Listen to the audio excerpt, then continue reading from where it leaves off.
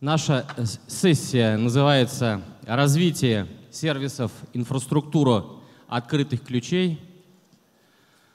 Для того, чтобы об этом поговорить, сначала мы коротко пройдем по терминологии, по общему системному взгляду на то, о чем же, что же подразумевается да, под этими в отдельности понятными словами, как это должно выглядеть с точки зрения обсуждения на текущий момент. Ну, прежде всего, есть слово «развитие». Развитие означает какое-то движение вперед, качественные изменения, не просто модернизацию, а развитие по, своему, по своей сути.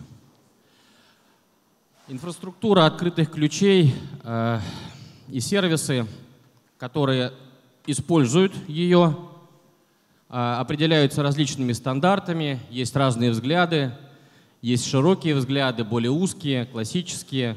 Поэтому начнем мы, наверное, с этого. Но вначале я бы хотел сказать, что вчера была стратегическая сессия, на ней многое говорили о том, Э, как развиваться, в том числе и про развитие сервисов инфраструктуры открытых ключей тоже говорили. Сегодня утром была очень интересная дискуссия. На ней было несколько пасов в сторону нашего круглого стола. Мы постараемся их подхватить.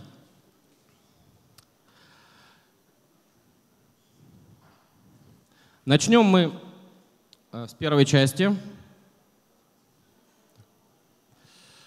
А, постараемся вести таким образом наш круглый стол, чтобы а, передавать слово друг другу, чтобы это не был какой-то э, шаблонный подход в части зачитывания докладов, а все-таки был какой-то разговор, какой-то диалог.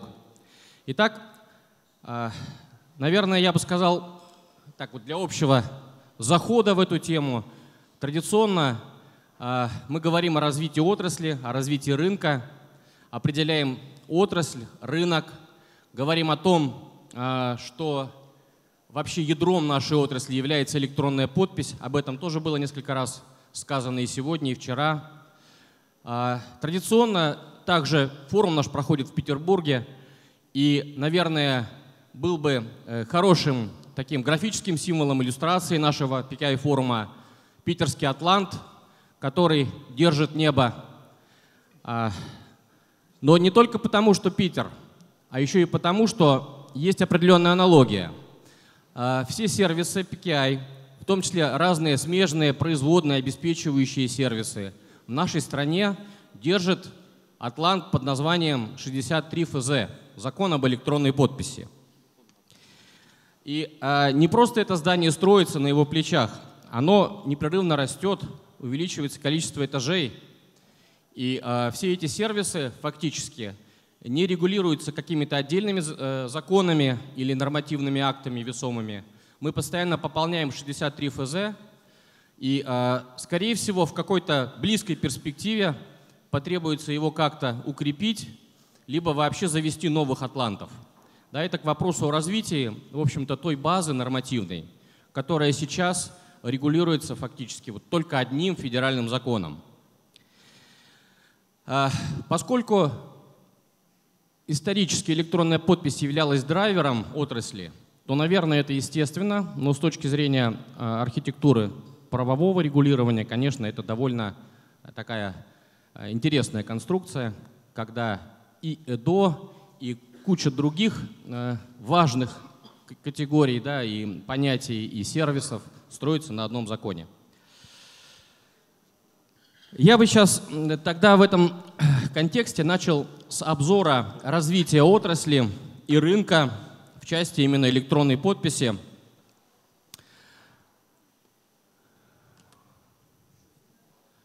И э, обзора тех PKI-сервисов, которые, в общем, являются фокусом нашего внимания. Как я уже говорил, есть некий классический взгляд, классическое определение. Сегодня на первой э, сессии об этом говорили. Да, это те самые PKI-сервисы, которые описаны стандартами, которые существуют по классической методологии. А, и есть расширенное толкование к PKI-сервисам или к сервисам PKI-инфраструктуры можно отнести и другие интегрированные с ними а, внешние функциональные, а, какие-то компонентные, связующие части других систем, информационных систем. А, здесь выделены в структуре классического а, перечня PKI-сервисов первая пятерка выделена. Вот. И э, я бы хотел представить соведущего моей сессии. У нас, как вы обратили в команде, небольшая замена. Вместо Романа Кузнецова э, будет э, вести этот круглый стол Евгений Лохаткин, э, эксперт года прошлого PTI форума и э, ведущий телеграм-канала об электронной подписи ЮЦ, э, очень популярного, а также сотрудник Сбербанка. Евгений, вот можете прокомментировать, почему первые пять сервисов так вот вы э, выделили жирным, а остальное как-то так вот тоненько? Да, Алексей, спасибо. Я, в свою очередь, вас представлю как своего соведущего кандидат экономических наук, генеральный директор компании «Гарант Электронный экспресс», член Совета Ассоциации РАСЕО Алексей Пауков. Да, коллеги, Начнем с самих определений. В течение нашего выступления мы неоднократно будем возвращаться к классическому и расширенному определению. Почему мы выделили? Первый пункт – удостоверяющий центр. Этот сервис, который наиболее активно развивается в нашей стране. А четыре других, они наиболее активно обсуждаются. Но развития активного у них нет. Что говорить про оставшиеся пять, то они не развиваются от слова совсем. И вот здесь видна явная диспропорция в развитии сервисов. Почему так происходит? Давайте попробуем разобраться. Давайте попробуем посмотреть в будущее, а что э, ждет э, и что должно являться драйвером развития да, этих сервисов. То есть, наверное, есть какое-то объяснение существующей картине.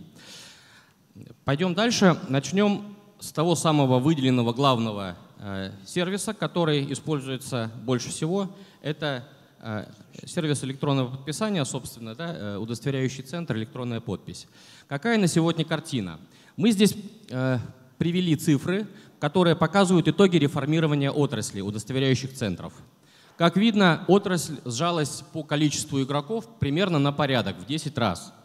Из 470 удостоверяющих центров, которые были в 2021 году, осталось 47.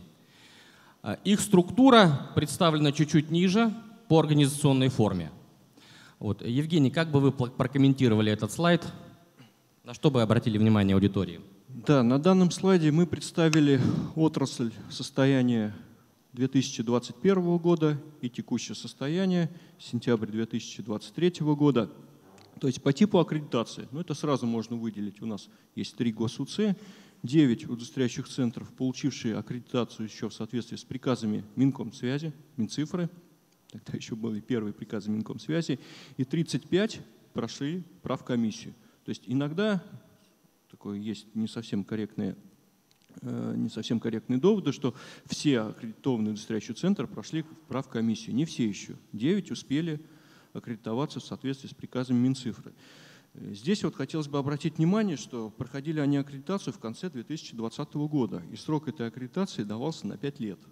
Соответственно, она у них истекает в конце 2025 года. А правкомиссии проходили аккредитацию уже со сроком на три года, в 2021 году. Истекает она у них, начиная с лета 2024 года. И вот те удостоверяющие центры, которые действительно успели пройти аккредитацию еще по старым правилам, приказам Минцифры, получили такой бонус к этому сроку в виде полутора лет. Наверное, для удостоверяющих центров это такой весомый довод. По организационно-правовой форме, мне кажется, здесь все логично. Наиболее крупные организации, которые могут выполнить требования капиталу и являются аккредитованными удостоверяющими центрами. Вот 47 текущее количество. Есть ли предпосылки для роста? Ну вот, казалось бы, с учетом повышения требований к капиталу удостоверяющих центров сейчас получить статус сложно. Все, кто хотели, они его получили. Но сегодня правкомиссия завершает заочное голосование по кандидатуре еще одного удостоверяющего центра. Это общество с ограниченной ответственностью УЦ «Тензор». То есть вот не тот «Тензор», который сейчас аккредитован. Поэтому есть все предпосылки, что скоро на один удостоверяющий центр в нашей стране будет больше. Ну, на один станет больше, а сколько в результате переаккредитации из-за увеличения, из-за повышения требований э, уйдет с рынка, тоже, наверное, будут какие-то потери. Поэтому с большой вероятностью ну, э, мы имеем уже сформированную отрасль, в которой, как видно, э, ключевые роли играют все-таки крупные игроки. Государственных УЦ не так много, но это только по количеству игроков. А по тому, как, какой объем работы они делают и какое количество сертификатов выпускают, будет немножко другая статистика чуть-чуть позже. Окей. А, наверное, в продолжение было, было бы интересно всем посмотреть, как поменялась структура десятки крупнейших удостоверяющих центров. Почему десятки? Потому что даже в 2021 году а, десятка выпуска, э, выпускала примерно 77% объема сертификатов, а э, в 2023 году десятка выпускает уже э, почти 90% объема сертификатов. Мы видим, что десятка укрупнилась, но кроме того, первая тройка поменялась вообще полностью, а в пятерке остался только один удостоверяющий центр из э, списка 2021 года, пятерки лидеров. То есть мы видим ну, полное кардинальное перестроение отрасли в части ключевых игроков. Я бы на это обратил внимание. Да, дополню то, что ГосУЦ, представлен на сцене федеральное казначейство, остался в тройке лидеров. Более того, поднялся на второе место. Остальные удостоверяющие центры, да, потеряли. Но что можно отметить, по итогам 8 месяцев текущего года 4 удостоверяющих центра превысили такое пороговое значение в 1 миллион сертификатов. И получается, что кто были крупными, стали еще крупнее, а те, кто были представлены не таким большим объемом, ну, объективно говоря, теряют позиции на рынке. Ну, фактически мы видим, что рынок стал таким государственно-олигополистическим. То есть малое количество игроков с преобладающей ролью государства. Ну, наверное, к этому и, и стремились э, реформаторы. В общем, можно сказать, что в этом смысле цель была реформы достигнута.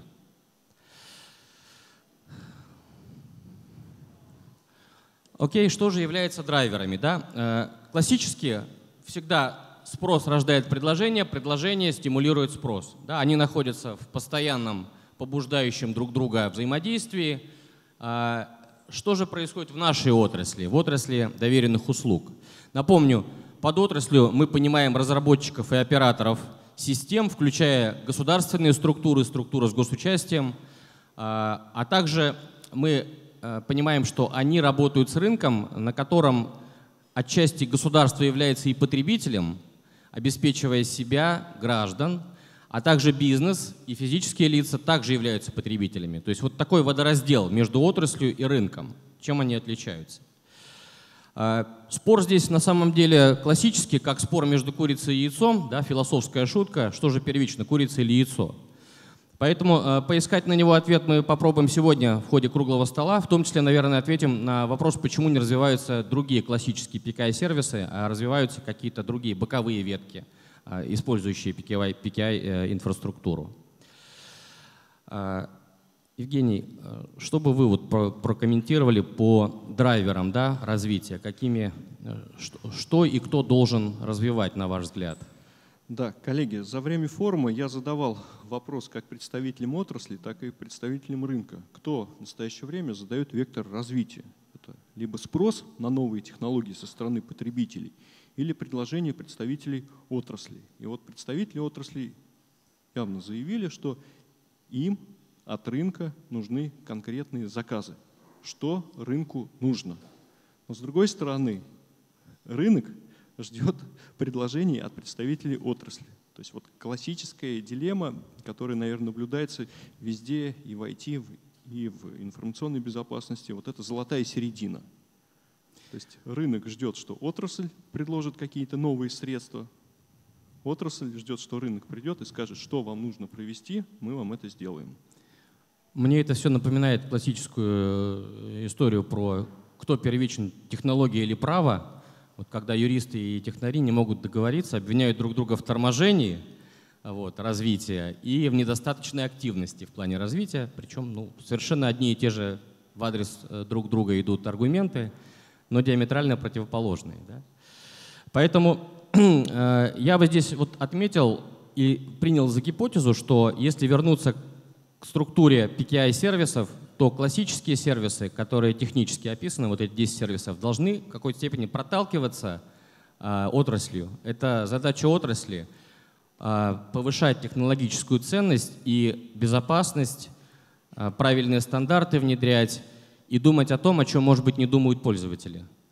Вот, а со стороны отрасли идет как раз продвижение и стимулирование развития различных прикладных или смежных сервисов, которые в разные сферы жизни могут э, быть включены, улучшить качество жизни, повысить производительность труда и так далее.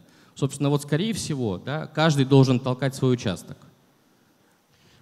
Алексей, у нас вот заскучали Вячеслав Сергеевич, да. Антон Сергеевич. Вячеслав Сергеевич, ваше мнение на данный вопрос?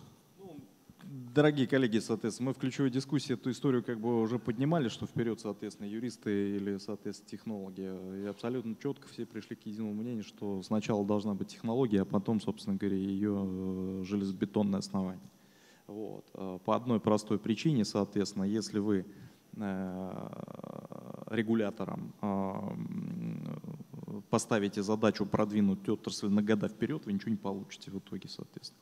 Поэтому абсолютно четко здесь для меня, лично для меня, соответственно, технологии должны развиваться. Технологии должны развиваться даже э, с учетом того, что нормативное регулирование там, по определенным направлениям, соответственно, немного не соответствует всей этой истории. Вот, потому что э, давайте ну, как бы поговорим такой по, по душам. На самом деле, не нарушая ничего, развиваться невозможно. Ну, невозможно. Не нарушая ничего, развиваться невозможно. Всегда имеет место определенный допуск, идея, старт, изучение какого-то нового направления и так далее, и так далее, и так далее. И после этого, когда возникает какая-то прорывная история или а, та вещь, которая двигает как бы а, и, э, вернее, даже не, не то, что двигает, а порождает, соответственно, потребность со стороны отношения рынка и так далее. Э, потом подтягивается нормативка. Да, вопросов нет. В этом, соответственно, суть бизнеса. Вы, соответственно, когда что-то создаете, начинаете продавать, и вы что, оглядываетесь на то, да, вы смотрите, что там это там не наркотики, ничего и так далее и тому подобное, вся эта история. И здесь должна быть та же самая как бы тема. Угу, позиция понятна. На самом деле у нас будет чуть-чуть позже слайд, я такой как бы дам э, вперед спойлер. Будет слайд э, по итогам прошлой, прошлого форума. Часть положений резолюции были отраслевыми, да, как бы про технологии, а часть были от рынка. Вот, э, и вы посмотрите, что в итоге сбылось за этот год, а что не сбылось, какая часть. Пока не скажу, дойдем до слайда, увидим. В целом отрасль на самом деле у нас э, как бы очень камерная. Да? Вот количество игроков, которые разрабатывают сервисы, которые разрабатывают э, прикладные какие-то решения, связанные с PKI-сервисами, оно очень небольшое. Э, если бы на самом деле пригласить сюда всех тех пользователей, которые используют эти решения, то ни один стадион страны бы не вместил их. Э, это говорит о том, что отрасль имеет такую структуру как бы бокала на тонкой ножке, да, э, где несколько фактически игроков, несколько технологий задают тренды для развития на длинную перспективу, и все остальные, вся остальная страна, в общем, их использует. Поэтому, как говорится, есть там э, компании, которые строят карусели, да, есть там весь мир, который на них катается. Вот у нас примерно такая история. Э, очень небольшое количество игроков выпускает технологии, используемые во всей стране.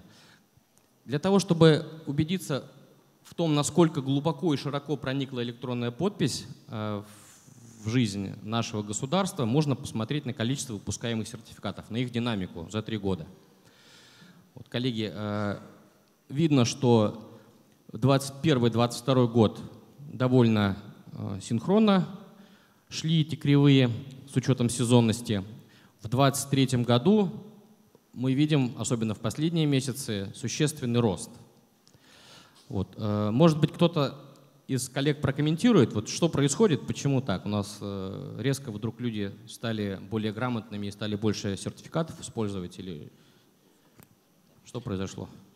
Ну, давайте попробуем. Но э, понятно, что есть определенный естественный рост, э, связанный с распространением просто технологий, больше Э, больше бизнес-процессов, в которых применяется технология электронной подписи, соответственно, больше количество э, сертификатов. Здесь речь про только про квалифицированные сертификаты. Да, Понятно, что да, э, значит, здесь там, может, не так быстро внедряется, как там история с неквалифицированным, там на фоне кадрового ДО и так далее. Но здесь явно просто в июле-августе это последний вагон э, выпуска сертификатов представителей юридических лиц, которые, собственно, с 1 сентября теперь аккредитованные УЦ не выдают, выдают только три государственных УЦ. Вот. Ну, ну да, мы обсуждали это и пришли к тем же самым выводам. И э, примерно та же самая картина в конце 2021 э, года, там тоже огромный рост, видите, да? То есть я бы обратил внимание на некий парадокс. Государство, проводя изменения законодательства, преследует цели э, сделать так, чтобы э, для пользователей все было безболезненнее в результате и дешевле. Но почему-то э, в результате этих изменений происходит фактически двойная покупка, то есть все становится дороже, а еще и с определенным стрессом да, все это происходит, то есть мы видим, наоборот, всплеск вот этой активности.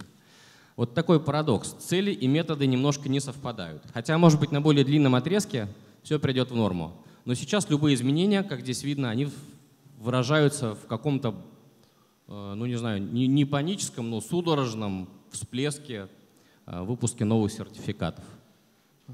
Коллеги, два года назад, вот выступая тоже на PKI-форуме, Кузнецов Роман Валерьевич назвал цифру действующих квалифицированных сертификатов 15 миллионов. Вот по результатам анализа этих графиков количество действующих сертификатов за последние 15 месяцев, там дельту отозванных, можно говорить вот, по состоянию на начало сентября о 17 миллионах квалифицированных сертификатов, которые действуют в нашей стране. Коллеги, давайте я чуть-чуть попанирую. Можно мне там прям одну секундочку, 5 копеек вставлю, как говорит Константин Валерьевич. Конечно. Коллеги, хороший график, все замечательно, все великолепно, только не надо забывать, что у нас количество сервисов, соответственно, в стране выросло количество использования сертификатов объективно выросло. И если раньше, соответственно, у нас госсектор, вы обратили, наверное, внимание, что по состоянию на конкретную дату, соответственно, мы выдали э, за весь год миллион, там, что-то с копеечками. И сейчас мы видим, соответственно, рост этот колоссальный с точки зрения требований от, гос, от госструктур. Не потому, что он дороже стал, потому что количество сервисов и объем применения электронной подписи вообще, в принципе, использования, он сейчас растет. И он будет расти дальше. Вот. А э, потухнуть он может, если мы количество сервисов, соответственно, просто-напросто схлопнем, убавим и так далее. Поэтому ну, здесь я бы так не горячился, что государство здесь не право. На самом деле э, сам рост объема соответствующих сервисов говорит об обратном. То есть рост сертификатов, соответственно, говорит о количестве, соответственно, все-таки сервисов, которые с помощью этих сертификатов, соответственно, обеспечиваются. Mm-hmm. Спасибо. Хорошо. Вот официальная версия из-за количества сервисов э, всплески. Ну, как бы, я считаю, что на самом деле комбинация факторов и то, и другое в сумме сложилось, и в результате мы получили вот эти вот рост, вот этот рост. Да, золотая середина, компромисс. Хорошо. А, следующий слайд, собственно, показывает динамику а, в разрезе конкретных удостоверяющих центров. Да, мы видим вот эту внутреннюю структуру, отрыв лидеров, и а, мы попытались здесь не очень хорошо видно, но по месяцам цветом выделить, собственно, вот эту вот внутреннюю структуру по количеству. На что бы здесь я бы хотел обратить внимание, да, на мой взгляд, важно заметить, что несмотря на такой кардинальный э, реструктуризацию выпуска сертификатов, все равно надо понимать, что э, с клиентами конечными работают в том числе и удостоверяющие центры из прошлой десятки – но они отчасти э, могут являться и доверенными, доверенными удостоверяющими центрами, либо открыли на базе свои филиалы да, доверенных удостоверяющих центров. Поэтому внутри все равно структура, она отчасти сохраняется благодаря активной работе именно игроков рынка, коммерческих игроков рынка. Вот эти большие показатели, в том числе ФНС, отчасти достигнуты э, совместными усилиями, в том числе сетей крупных удостоверяющих центров. Есть еще какие-то комментарии, коллеги, по этому графику? Здесь можно дополнить то, что лидеры, можно сказать, захватили рынок в лице ГосУЦ, и конкуренцию объективно им никто не может сопоставить. Наверное, в ближайшей перспективе так и будет оставаться, если там очередного витка изменений законодательства не случится. У меня такой вопрос. Сейчас еще не очень укоренилась и не очень э, популярна технология дистанционного получения нового сертификата на основе действия предыдущего. Предположим, в течение 2023 года э, популярность этой методики э, возрастет, ну, объективно, да, время пройдет, люди будут об этом знать. Как поменяется вот эта структура, на ваш взгляд? Кто может прокомментировать? Насколько сильно это повлияет? Ну, коллеги, соответственно, дистанционно э, перевыпуск соответственно, сертификатов в казначействе, он используется уже давным-давно на самом деле, как определенный сервис. И поэтому мы будем прирастать э, совершенно четко из-за э, новых функций, которые будет государство вводить в электронный вид. Это четко, это понятно нам абсолютно объективно. Каких-то взрывных ростов со своей стороны мы совершенно точно не, ну, как бы не прогнозируем. Мы абсолютно спокойно, соответственно, это отношение работаем работаем. Не могу не согласиться с тем моментом, что как бы реформа законодательства э, приведет, вернее, или из-за отсутствия реформы законодательства и передачи соответствующих функций приведет как бы к некоторому движению вот в этой вот десятке, ФНС там, и так далее и тому подобное. Э, ну, на самом деле, коллеги, соответственно, ведь э, государство почему эту функцию на себя взяло-то в свое время? Вот, потому что начался беспредел. Это вот в прямом смысле этого слова. Кто был виноват в том, что, соответственно, этот беспредел начался? Ну, как раз вот это вот иконостас. Коллеги, а, если коммерческий рынок начнет создавать уровень сервиса, который, соответственно, будет и который заинтересует гражданина, а основная цель у нас сейчас вернуть доверие гражданин к этим всем вот этим вот инструментам, мы с вами получим совершенно другую картину. Потому что и у ФНС, и у казначейства России вполне конкретные и четкие показатели, с которыми мы выходили. Мы знаем, сколько у нас в принципе будет клиентов. Мы абсолютно, абсолютно прогнозируемая эта история.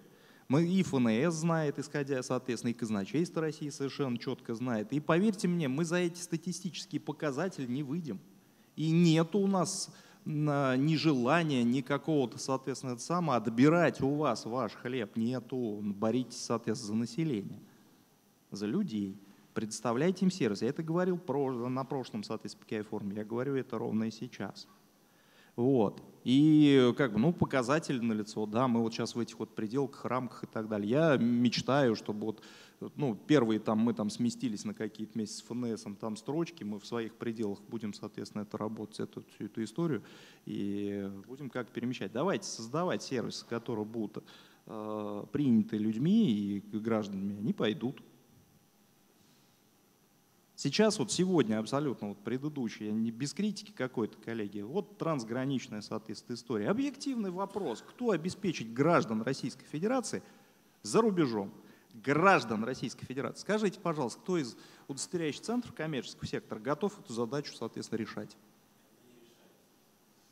Ну, а кто за нее брался? Тогда давайте по-другому задаем вопрос. Ну, кто за нее брался?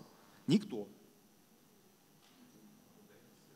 И поэтому здесь, коллеги, вот, ну, как бы до тех пор, пока мы эту всю эту историю не переварим в себе, когда мы перестанем из электронной подписи делать средства зарабатывания денег в этом отношении, вот тогда, наверное, что-то изменится. Спасибо.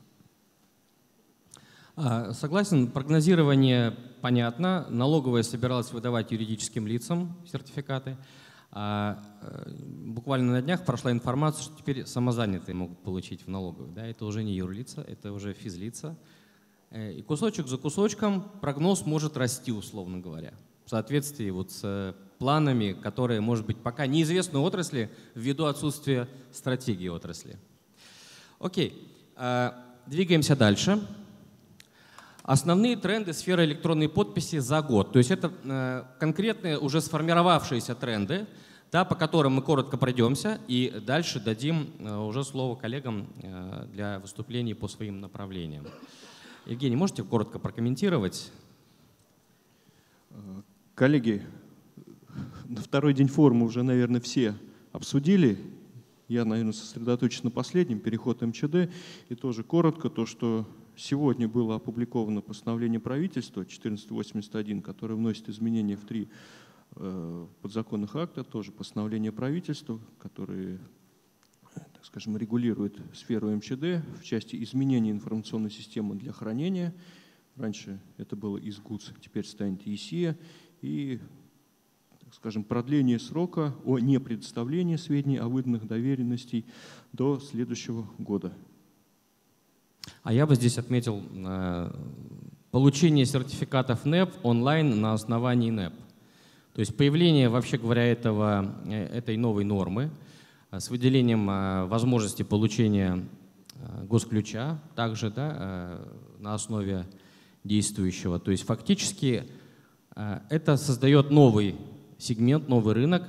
И вопрос, который я бы хотел задать в том числе участникам здесь, не приведет ли это к схлапыванию дискуссии по поводу мобильной и облачной подписи, которая много-много лет велась, да, и, может быть, так и не разродившись, она и закончится, потому что у нас появилась вот эта норма, когда можно с использованием НЭП выпустить новый НЭП, а особенно у нас появился госключ.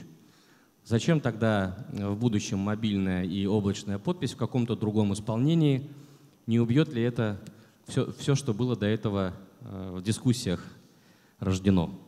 Да, Алексей, я попробую ответить. Но на самом деле, э, мне кажется, вот эта норма, которая касается выдачи сертификатов э, на основании значит, ну, действующего сертификата неквалифицированной электронной подписи, он, ну, она в, в этой части ничего не меняет, она там упрощает жизнь некоторым значит, корпорациям большим, значит, которым нужно там, либо своих клиентов, либо там, своих сотрудников да, обеспечивать сертификатами. И, и конечно, там делать иногда сложно, в смысле, если там сочной явкой. Э, вот, а я, прошу прощения, здесь, мне кажется, очень важная вещь, вот на слайде э, у вас не хватает. Да, вот есть 12-летние долгосрочные сертификаты, э, значит, обязанность по уничтожению ключей и важная норма, что значит, теперь признание электронной подписи действительной в, значит, в отсутствии метки времени – Э, требует не только э, действия сертификата на момент признания, но и действия закрытого ключа на момент признания. Да, и вот у этих 12-летних долгосрочных сертификатов ключи-то такие же 15-месячные там, или там, трехлетние в лучшем случае. Поэтому и вот, а, эта норма, то, про что Константин Валерьевич вчера говорил на, на э, секции, что значит, фактически вот эта вся история с 12-летними сертификатами, ну, там, она без меток времени все равно остается такой же. Как не живой пока. Ну, не, не то, что не живой, но в смысле никакого э, изменения сроков там, признания не, не произошло. Да? То есть вот это, там просто надо внимательно читать э, шестую статью. Ну а с точки зрения, отвечая на, собственно, ваш вопрос по поводу значит, э, необходимости там, то есть э, разнообразия да, средств мобильной и облачной подписи, ну, мне кажется, что здесь как раз э, вот в рамках разнообразного рынка, да, конкурентных решений рождаются соответствующие, значит, рождаются новые варианты, новые решения, то есть конкуренция, разнообразие, оно приводит на самом деле к улучшению качества услуг и сервисов, которые э, предоставляются, поэтому мне кажется, что здесь как раз не произойдет схлопывания никакого, просто значит, ну, будет развитие конкурентное.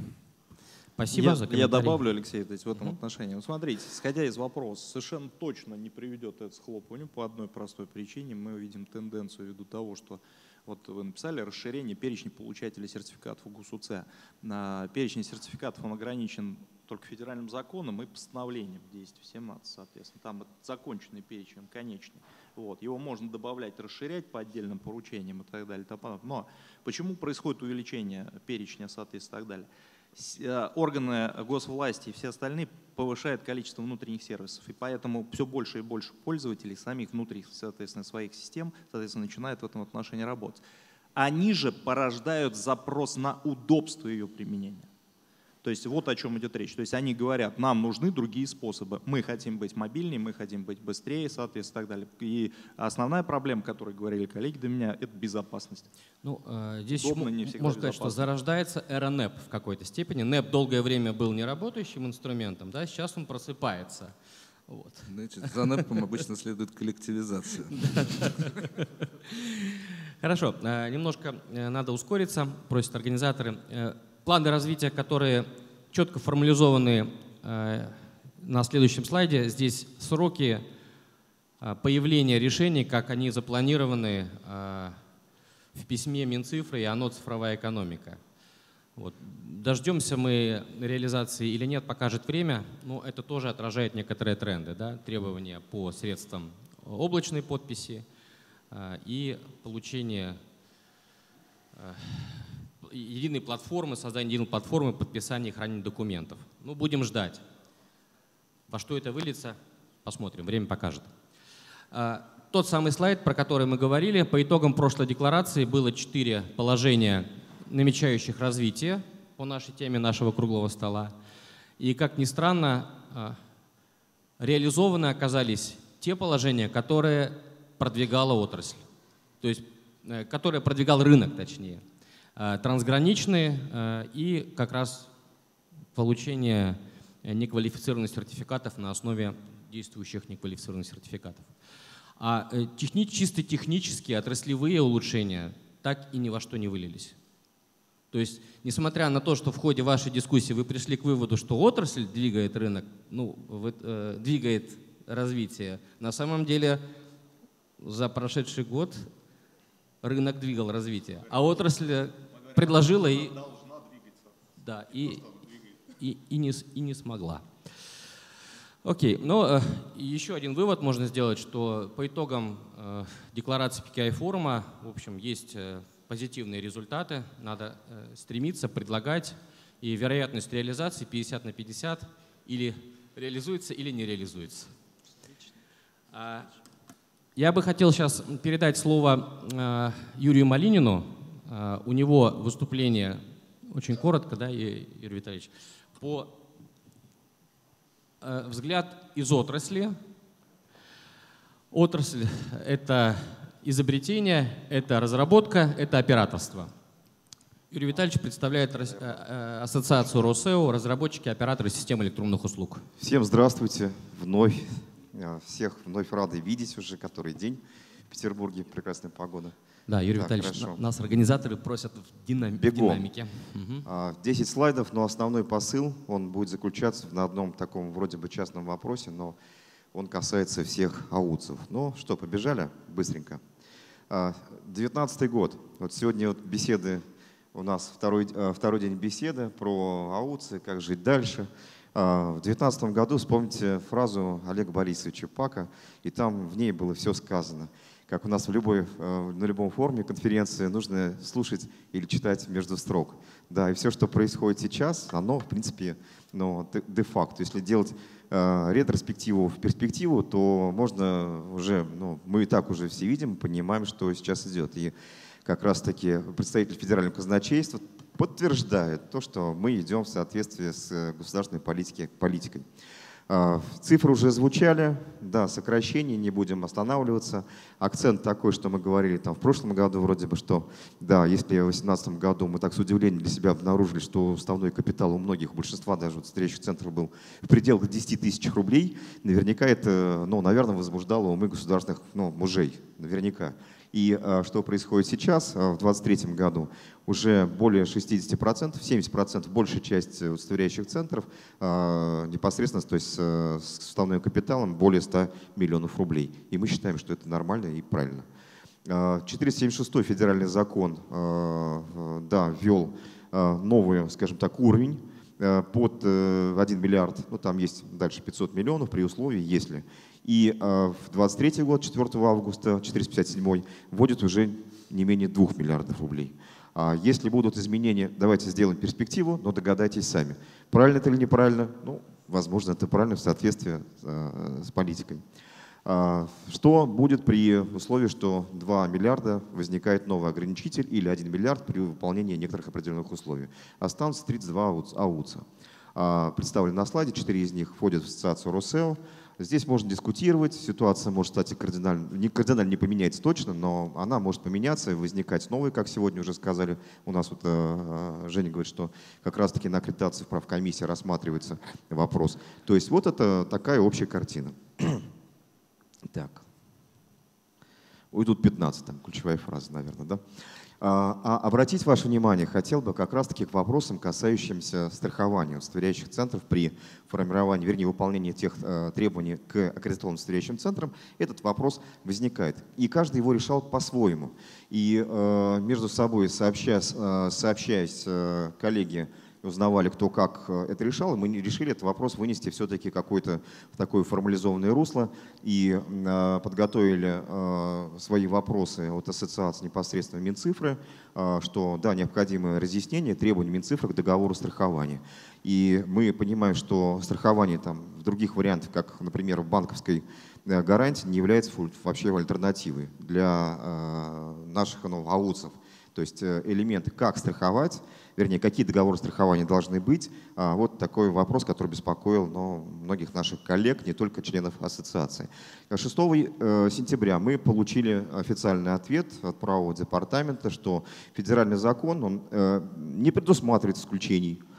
То есть э, в связи с этим отказывают ряда страховых компаний, а это уже происходит, принимать риск, касающий непосредственно возмещения вреда, причиненного страхователем, либо лицом, а, за исключением случаев причинения вреда жизни или здоровью третьих лиц. Ну, то есть вот разные вещи. То есть э, идет такой тренд, что э, страховым компаниям, в принципе, они первые, как мы предполагаем, что не понимают, потому что риски не описаны, четких пояснений от э, ну, Минцифры мы не получили.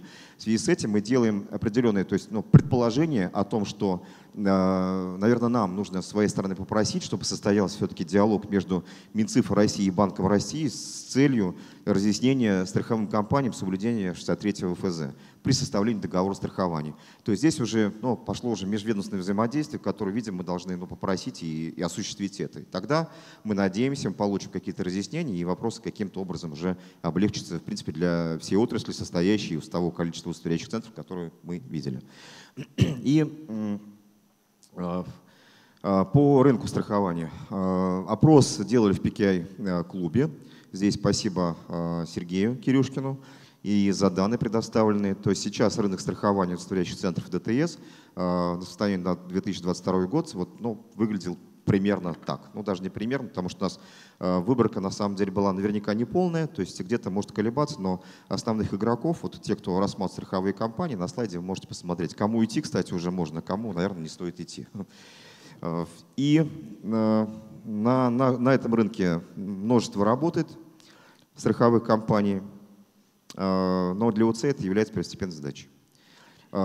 И развитие сервисов, то, что уже обсуждали, про также в PKI-клубе с предложения как раз с инициативы Сергея Анатольевича сделали опрос, представляете ли вы услуги или планируете ли вы их предоставлять по, штамп, штампам времени и по статусу сертификатов. 62%, то есть большинство уже используют эти услуги, сервисы, 20% планируют использовать, кто-то считает нет необходимости, но основной тренд, да, эти сервисы тоже забираются и идут вперед.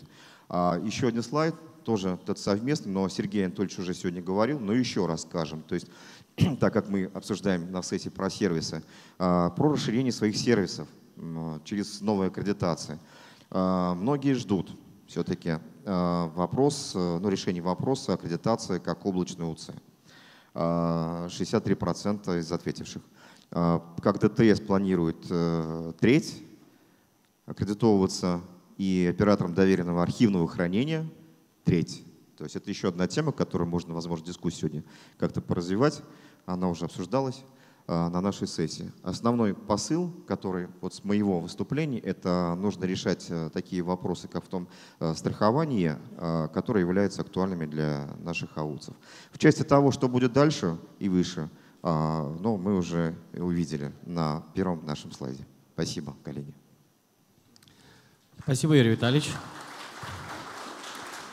А, так получается, что государство становится одним из крупнейших разработчиков и операторов, и изобретателей. Да? Поэтому у э, традиционного бизнес-сообщества появился такой си сильный конкурент, в хорошем смысле слова, который двигает свои изобретения и э, заказывает их главным образом для того, чтобы развивать единый портал государственных услуг, как э, для населения, да? как, э, население как потребитель, государство как заказчик. Следующий э, докладчик у нас Никита Валикжанин.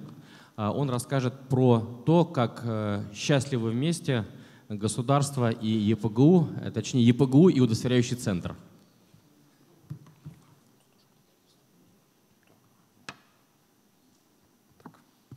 Коллеги, добрый день.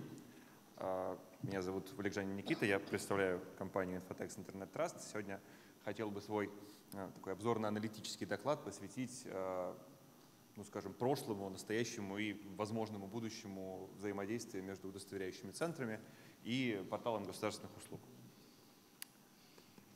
Началось все, по большому счету, в 2015 году, когда в 63-м федеральном законе появилось изменение, согласно которому удостоверяющие центры стали обязаны передавать э, в единую систему идентификации и аутентификации информацию о выдаваемых квалифицированных сертификатах.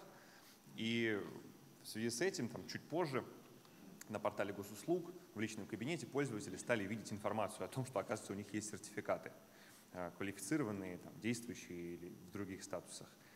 Э, этот механизм, он уже достаточно много лет работает, э, активно, там, естественно, удостоверяющие центры все передают, портал госуслуг показывает, и у него вот за эти годы нарисовались определенные плюсы и значит, один небольшой минус, на мой взгляд.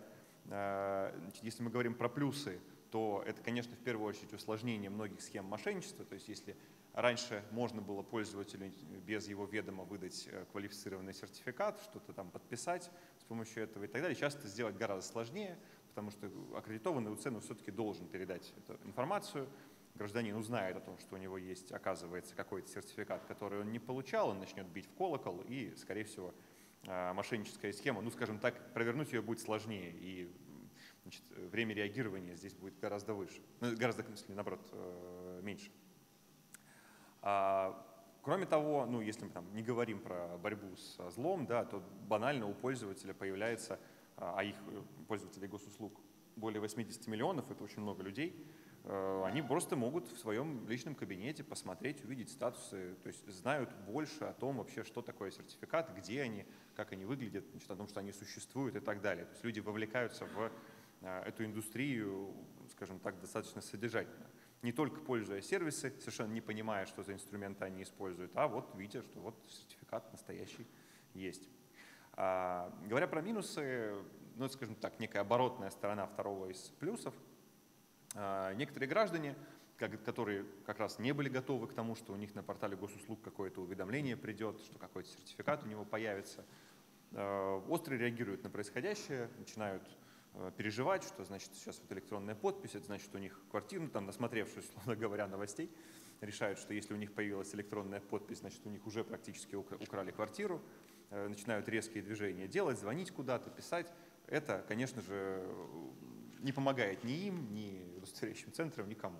И с такими вещами там, можно бороться там, более хорошим информированием граждан и так далее. Но, тем не менее, такой минус он есть, и большое количество таких граждан, ну, как в рамках деятельности своей удостоверяющего центра, встречали.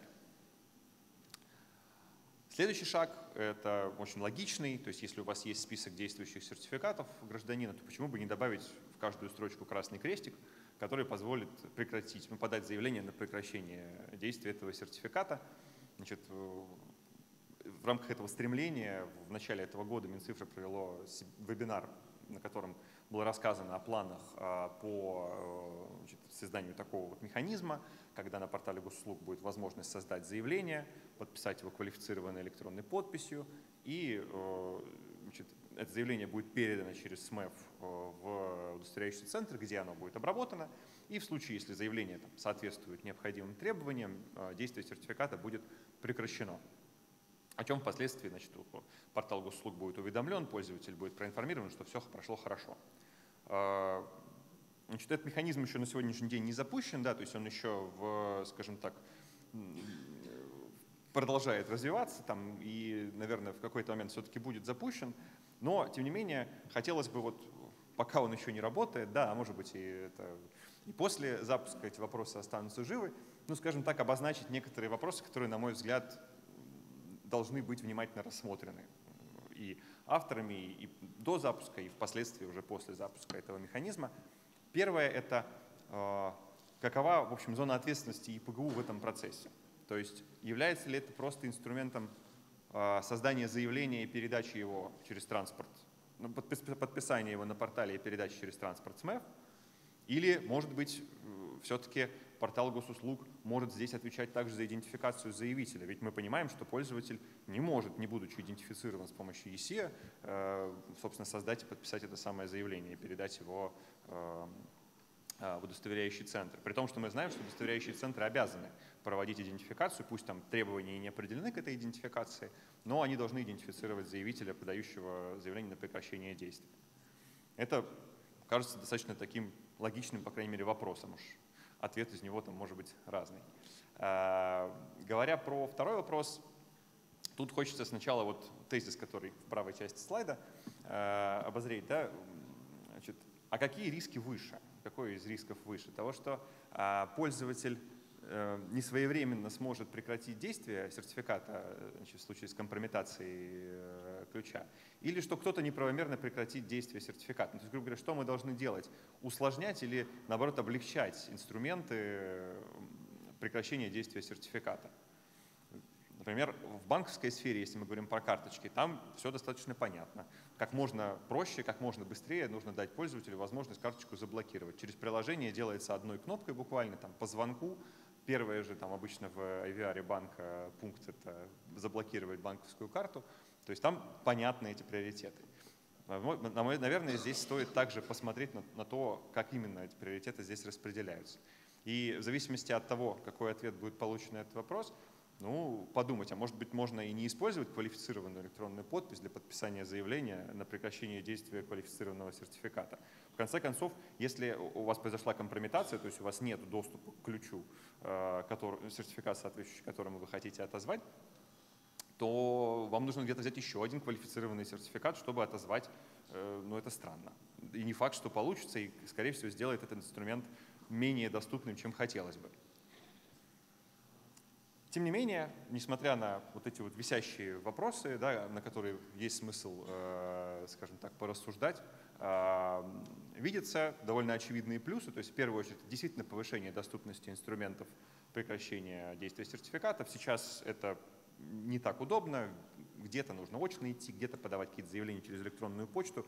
Это все, конечно, крайне неинтуитивно в нашем современном цифровом мире, э, в котором очень много всего делается по одной кнопке, значит, через приложение или еще как-то.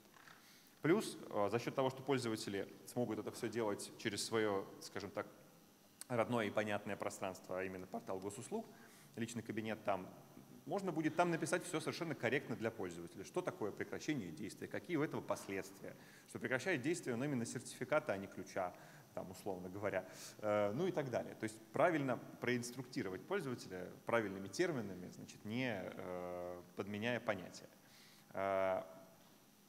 качестве минусов видится, ну, скажем так, продолжение предыдущего минуса, да, предыдущего механизма.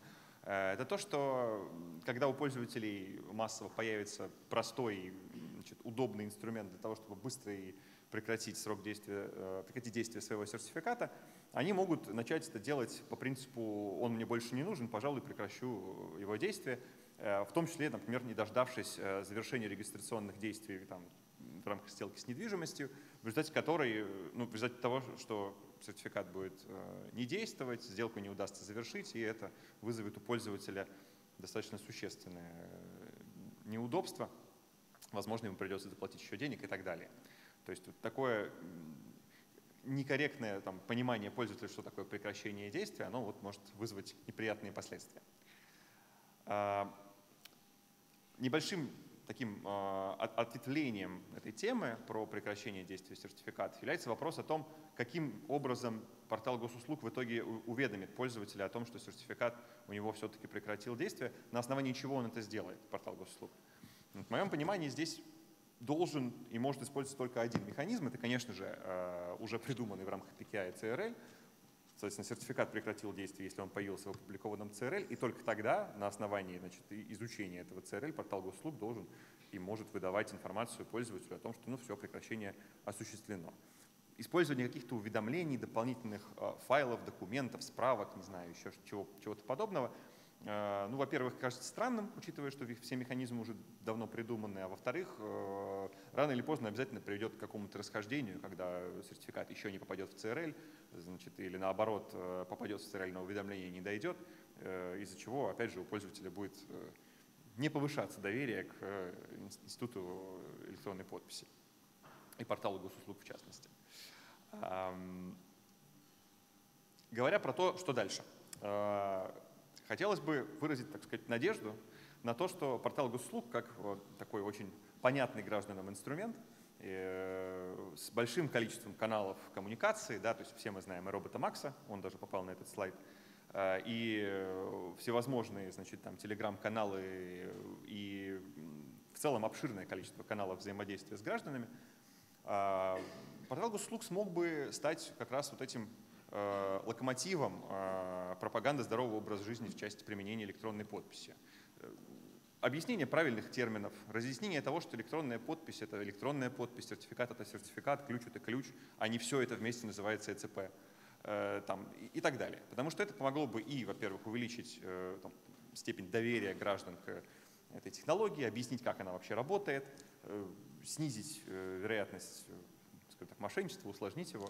Никит, я прошу прощения, в целом понятно. Давайте предпоследний слайд. Да, информационная история понятна ближе к PKI. А уже все э, практически. Значит, говоря о выводах, э, хотелось бы сказать, что э, безусловно, вот эти взаимодействия между порталом госуслуг и удостоверяющими центрами, которое появилось, которое продолжает развиваться, открывает множество новых горизонтов, перспектив и возможностей для вообще PKI. Появляются новые сценарии, появляются новые значит, возможности для граждан, для удостоверяющих центров. И это замечательно. Значит, если же говорить про, как говорится, еще одну небольшую вещь после выводов, э, то хотелось бы задать вопрос.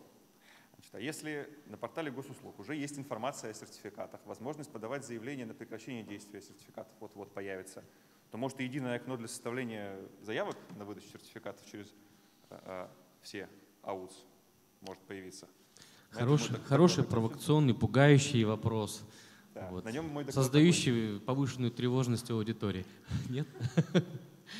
Хорошо.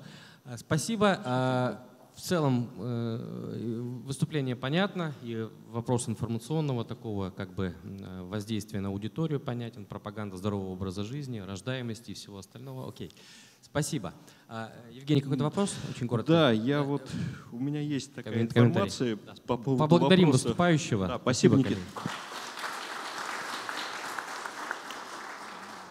Но ну, вот первый момент, э, это не применительно, например, к нашей технологии, а применительно к закону об электронном архиве, который тоже обсуждается. Вот депутат Хинштейн, рассуждая про законопроект, на законопроекте не буду останавливаться, он выступил против централизации хранения и обработки электронных документов в каком-либо госоргане. Надо ли документы коммерческих структур складывать единый архив. Вопрос дискуссионный. У меня пока такого убеждения нет, он сказал. И отдельно отметил, государство не должно собой подменять все вокруг и становиться единой точкой входа. Наверное, вот применительно к нашей сфере можно привести тот же самый ответ. А что касается ЕПГУ, я хорошо помню сентябрь 2020 года, это было 15 сентября, как тоже был PKI-форум в Подмосковье проводимый. И вот в этот момент я увидел, что у меня на госуслугах отобразилась информация о выданном квалифицированном сертификате, то есть вот три года назад. И применительно к внедрению технологий, к внедрению сервисов, вот Никита сказал, что норма вступила в силу 1 апреля 2015 года, а технически норма была реализована в сентябре 2020 года, то есть спустя почти пять с половиной лет. Э, да, спасибо за выступление э, Никите. Он рассказал про заказ со стороны государства в отношении граждан. Есть э, на PKI сервисы спрос со стороны бизнеса, он очень большой, он помогает повысить производительность труда. Поэтому следующее выступление будет э, посвящено теме машиночитаемых МЧД, но машиночитаемых договоров. Вот, э, такая новая трактовка старой аббревиатуры. Я представляю следующего выступающего, Михаил Чеканов, будьте добры, презентацию. Добрый день. Добрый день, уважаемые коллеги. А, мы специализируемся на цифровизации производственно-логистических цепочек, поэтому вот про тему машиночитаемых договоров доверенности я буду рассказывать прежде всего с этой колокольни. и, наверное, некоторые там специфические вопросы а, опущу. Собственно говоря, а что такое машиночитаемый договор? Наверное, все знают. А, есть уже два приказа ФНС. Большое спасибо за то, что они появились. Утверждены формат PDF плюс XML и чистый XML. Для себя мы ввели такую сущность, как цифровой контракт, который включает в себя все множество э, цифровых форматов документов – а, необходимых для оформления и проведения сделки, плюс смарт-контракт, который управляет а, а, этой сделкой или э, конкретным договором. И, собственно говоря, а что это нам дает? Ну, во-первых, в принципе, самое главное, что позволяет нам полностью перевести в цифру весь жизненный цикл сделки. Во-вторых, машиночитаемый договор позволяет нам а, строить цепочки взаимосвязанных договоров, потому что даже самые простые сделки на самом деле а, состоят из нескольких взаимосвязанных договоров, где там одно событие запускает или останавливает процесс по другому договору. Ну, например, в договоре поставки у нас всегда есть вызов а, договора там, на расчетно-кассовое обслуживание, на страхование, ну, как правило – то есть всегда есть 3-4, а то и больше контрагентов, которые должны взаимодействовать между собой а, в рамках некой цепочки договоров. И плюс есть еще некоторые технические преимущества, например, а, управление конфигурацией сети. Но обо всем по порядку. Вот если мы говорим про жизненный цикл в цифре, тут хороший пример – это вот наш флагманский проект для «Газпром нефти», Smart Fuel, я его на каждой конференции уже несколько лет показываю, в котором мы оцифровали все этапы сделки по заправке воздушных судов, а, но без самого договора. То есть вся вот эта конструкция с э, цифровыми заказами, заявками, ценовыми уведомлениями, расходными ордерами и бла-бла-бла, вся она висела подвешенной к бумажному договору.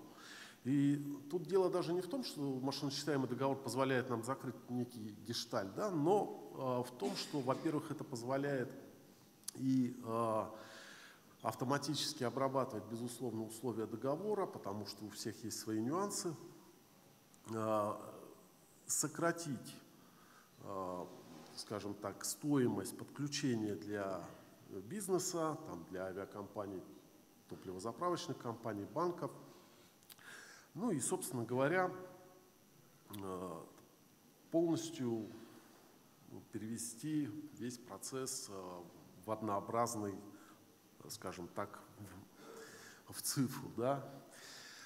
А, вообще, а, когда мы говорим о распределенных реестрах, всегда возникают вопросы. Я вот тут сейчас постараюсь прокомментировать некоторые тезисы, которые звучали сегодня утром на круглом столе. А в части вот Станислав Смышляев, если не ошибаюсь, сказал, что там производительность очень низкая. Действительно, вот многие э, бизнес-заказчики начинают свои эксперименты с внедрением э, блокчейнов, распределенных реестров, э, с применением платформ, пришедших к нам из криптовалютного мира, там на базе эфириума, Waves, там других протоколов, которые позволяют создавать ну, так называемые одноранговые сети.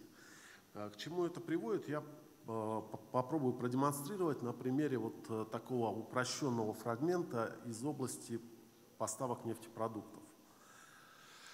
А, когда мы заводим всех участников э, вот сегмента рынка в такую сеть, мы рано или поздно сталкиваемся с сетевым эффектом, у которого есть позитивная и негативная стороны. Ну, позитивная э, сторона всем хорошо известна – Э, ценность сети для каждого отдельного участника примерно равна квадрату от количества участников. Но есть негативная сторона, стоимость владения для каждого отдельного участника растет точно так же. То есть тут мы вспоминаем вот известную притчу о восточном мудреце, султане и шахматной доске, где мудрец попросил там зернышки положить. А, и, собственно говоря, все это не только, скажем так, увеличивает стоимость владения, но и создает огромное количество проблем, связанных с управлением этой сетью. Например, я, честно говоря, не знаю, как коллеги в данном случае решают, например, задачу замены ключей, и есть ли вообще такая техническая возможность, или там архивирование цепочек, которая реализована в корпоративных решениях. А у нас несколько другой подход. Мы базируемся на а, открытой платформе Hyperledger Fabric, которую мы адаптировали к требованиям российского рынка. И э, эта платформа позволяет создавать так называемые каналы или сегменты сети, которые включают в себя только э, ту группу участников, э, там, например, по отдельно взятой сделке или по группе сделок, которым это действительно необходимо. То есть тут не возникает ситуации, когда участники сети вынуждены обрабатывать и хранить данные, которые вообще к ним никак не относятся.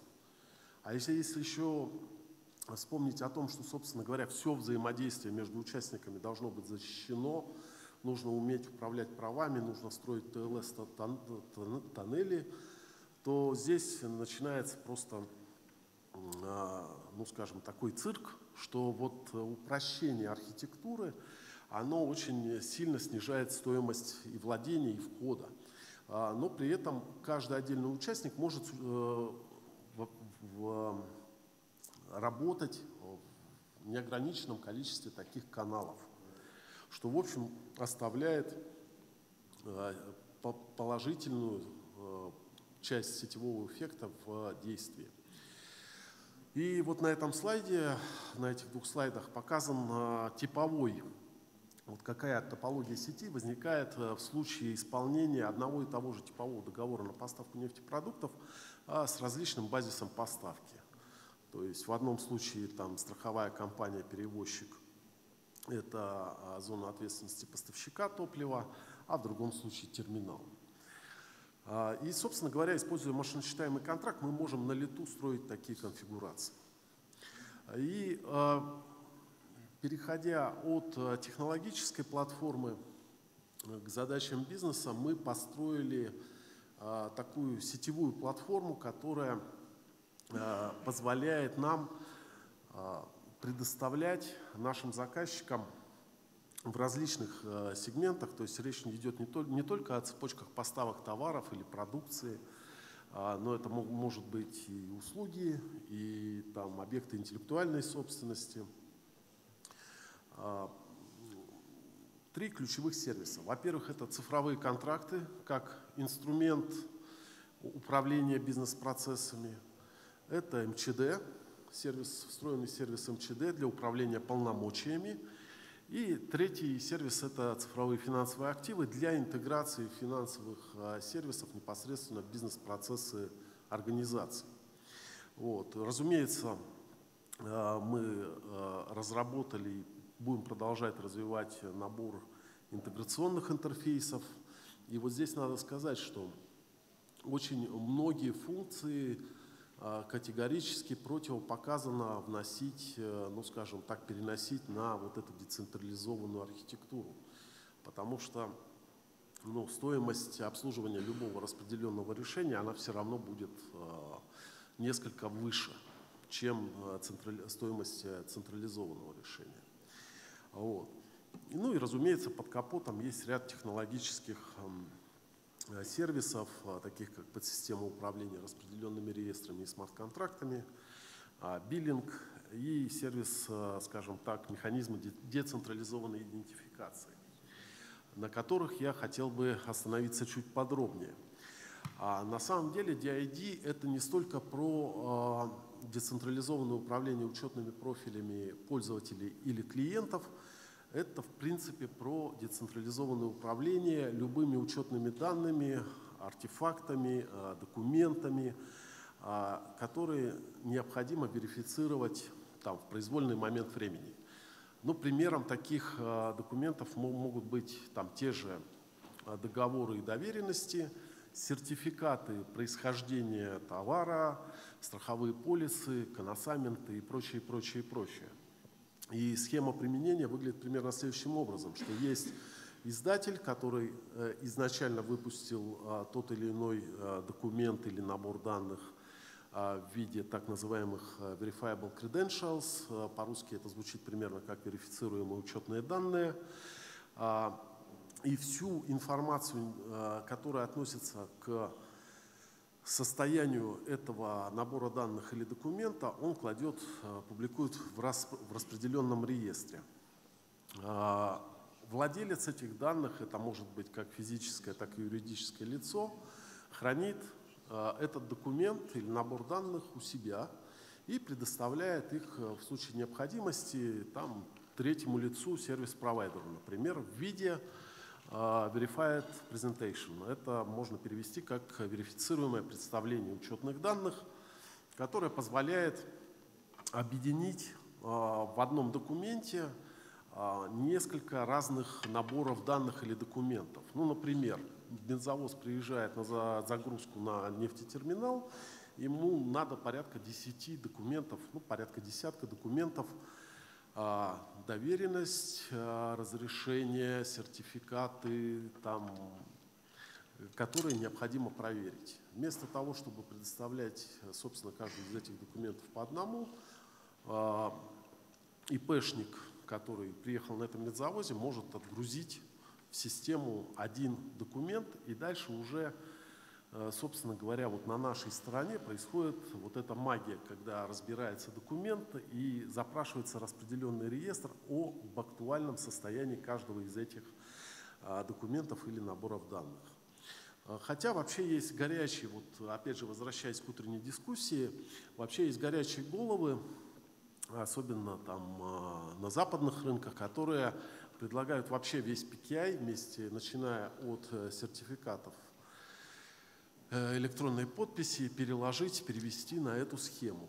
И надо сказать, что DID вообще активно развивается на глобальном рынке, то есть это уже такой стандарт де-факто, причем не только в западном сегменте, но и там, например, китайские товарищи, если копнуть любой из современных э, любую из современных китайских сетевых платформ, там DID практически в полный рост.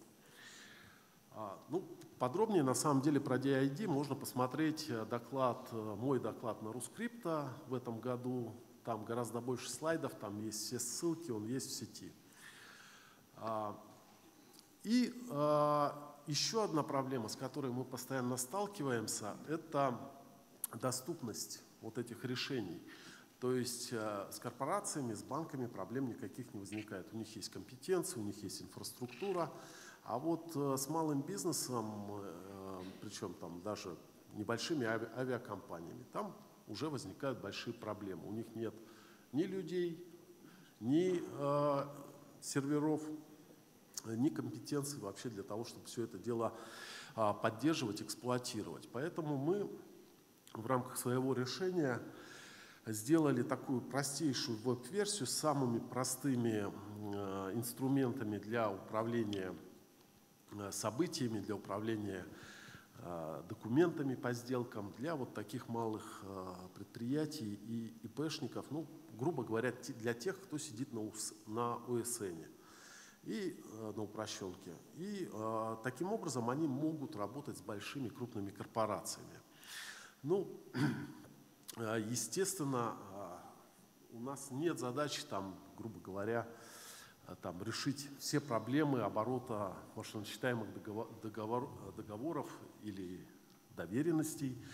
Но тем не менее, технология, например, позволяет организовать, вот есть такая штука, как классификатор полномочий для МЧД, да, который у нас есть федеральный классификатор, а все, кто в него не попал, будьте добры, используйте текстовую строку. Вот. Но если уж мы оцифровываем взаимодействие между организациями, то есть мы должны уметь а, предоставлять доверенности с полномочиями в том формате, в котором наш контрагент понимает. И вот мы на уровне сети можем, собственно говоря, строить такие федеры, ну, децентрализованные классификаторы, то есть подключаясь к той или иной организации, мы получаем ее классификатор и можем использовать те полномочия, которые она умеет обрабатывать. Михаил, спасибо. Чуть-чуть ускоримся а, и выводы какие-то сделаем. Если можно, короткий вопрос. А, DID методология это в терминологии нашего законодательства это NEP или это PEP? Что это? Простая подпись или неквалифицированная? Это технология обмена данными и документами. А уже Ну. как, как мы подписываем, это второй как бы вопрос. Но мы, например, у себя ориентируемся в худшем случае на УНЭП, ну а в лучшем случае на КЭП. Вот. То есть ПЭП тут э, не работает, потому что участников много, и проверить ПЭП, выданный там кем-то из, То есть это NEP для корпоративного использования. это позволяет Фактически. э, работать, в том числе с, э, с НЭП. Спасибо. Есть еще какие-то вопросы к выступающему? Или двигаемся дальше? Спасибо большое. Спасибо, Михаил. А, Мы рассмотрели развитие э, в сфере э, PKI-сервисов для физлиц, да, для граждан, для бизнеса. Сейчас хотелось бы немножко поговорить о развитии PKI-сервисов в направлении государственного использования государственными структурами, государственными служащими. Поэтому следующий э, доклад э, представителям э, Федерального казначейства и РТ Labs о, об использовании э, в сфере государственного управления электронной подписи. Вячеслав Брашко, да, передаем. Да, коллеги, Микрофон. еще раз добрый день. Еще раз добрый день. Э, э, Слайды кто-нибудь покажет? О, здорово. Значит, уважаемые коллеги, у нас э, совместный с Антоном Сергеевичем, соответственно, доклад. Э, Поймете сейчас дальше почему, мы вам расскажем о нашем развитии. Я немножечко дам определенных там по- про УЦ ФК расскажу, и потом передам слово, соответственно, Антону Сергеевичу, он уже расскажет более какие-то э, детальные истории. Ну, вот так сейчас на текущий момент выглядит, выглядит статистическая информация об УЦ Федерального казначейства. То есть полтора миллиона сертификатов, которые выпущены в 2022 году, общее количество действующих сертификатов приближается к 2,5 миллионов. А, Вот. э, Прошу обратить внимание, соответственно, на, э, на количество доверенных лиц, их 148 у нас. Мы раньше в слайдах показывали э, не количество, это, это количество заключенных соглашений в федеральном казначействе. Раньше мы в слайдах показывали количество точек э, присутствия этих доверенных лиц. Так вот, для статистики, соответственно, у этих 148 доверенных лиц еще 2200, э, соответственно, точек присутствия. В целом, общее количество точек присутствия УЦ Федерального казначейства Российской Федерации создает более 4000 точек представительства. Э, Количество сертификатов выпущено доверенными лицами 313 тысяч сертификатов. А, Значит, следующий слайд – это а, то, в чем федеральное казначейство, в каких межведомственных проектах мы, соответственно, четко а, участвуем, какие проекты у нас сейчас, сейчас на контроле и что мы реализуем. Первый проект Минцифры России, Минтруд России. Это мы интегрируемся, соответственно, с информационной системой управления кадровым составом Государственной службы Российской Федерации. Цель этого проекта состоит в том, чтобы наделить э, кадровиков функциями доверенных лиц. То есть, другими словами, пришел человек на работу, получил сертификат в кадрах, не надо никуда ходить, никуда не, не ходить, не идентифицироваться. Вот. Сейчас на текущий момент статус этого проекта, по-моему, если не ошибаюсь, соответственно, 413 постановление корректируется. После его, соответственно, внесения кадровики будут выполнять функции доверенного лица федерального казначейства. Подчеркиваю, кадровики государственного органа и как бы нашего клиента. Следующий проект – это э, большой, о чем мы как бы будем это, это проект Минцифры России, ФСБ России, вот, о генерации запроса на сертификат с использованием мобильного приложения «Госключ». Это э, понятное дело, что запрос генериться будет для государственной службы. Э, Один из перспективных. Мы много будем говорить, поэтому я не буду, соответственно, глубоко погружаться в эту историю. Второй проект – это э, ФНС России. С ФНС России это обеспечение квалифицированными сертификатами э, предназначен для автоматического подписания в ГИС вложения. В чем суть проекта? В том, что мы разворачиваем отдельный пак. Для чего? Для того, чтобы сильно сократить ЦРЛ. Э, При автоматическом подписании больших объемов документа основная проблема, с которой сталкивается, соответственно, наш клиент, заключается в том, что ЦРЛ очень большой. И, собственно говоря, при большом объеме подписанных данных эти проверки на десятки, на сотни, э, соответственно, снижают производительность и так далее. Поэтому был развернут пак, с минимальным количеством, соответственно, этих сертификатов, которые выпускателя автоматического подписания. Также с ВНС России мы интегрируемся с единым государственным реестром записи факта гражданского состояния, то есть мы обеспечиваем сертификатом ключа электронной подписи, соответственно, ЗАГСы, который подтверждает там, факт акта Это также взаимодействие с API. А, тоже очень интересный проект, требует, наверное, отдельного, отдельного там, развернутого рассказа. Подумаем, как нам тут довести, останавливаться не буду. С ДИТом Москвы это также взаимодействие через API, обеспечение сертификатом ключей электронной подписи. Я думаю, коллеги из ДИТа Москвы подтвердят, согласятся, что все у нас идет там нормально в этом отношении, мы все работаем. Ну вот. И э, то, о чем мы анонсировали, о чем, соответственно, мы говорили, это наш, э, соответственно, э, взаимодействие с МИДом России по поводу обеспечения э, федеральных государственных служащих, сотрудников МИД России за пределами Российской Федерации. Это тот элемент, куда мы, куда мы пойдем, и мы этот вопрос, надеюсь, решим на следующем PKI-форуме. Мы всю эту историю вам расскажем. Зачем даю этот слайд? Здесь на слайде, соответственно, изображена схема взаимодействия доверенными лицами УЦФ Федерального казначейства. Обратите внимание, что схема взаимодействия с доверенными лицами Федерального казначейства отличается от схемы, которая, соответственно, э, более вам, наверное, интересная, взаимодействие с, как, как доверенного лица э, с ФНС. У нас а, а, основное, основное отличие всего этого хозяйства в том, что решение по выпуску сертификата, решение по выпуску сертификата принимает сотрудник казначейства. То есть это исключает необходимость размещения каких-то там сверх каких-то тяжелых, соответственно, историй на стороне э, доверенного лица для того, чтобы они там чем-то там э, обеспечивали. Пошагово расписана вся эта история, останавливаться на ней как бы э, я не буду. Общий, э, основ, основной момент, на что обращу внимание, решение по выпуску сертификата принимает все равно казначей. Вот.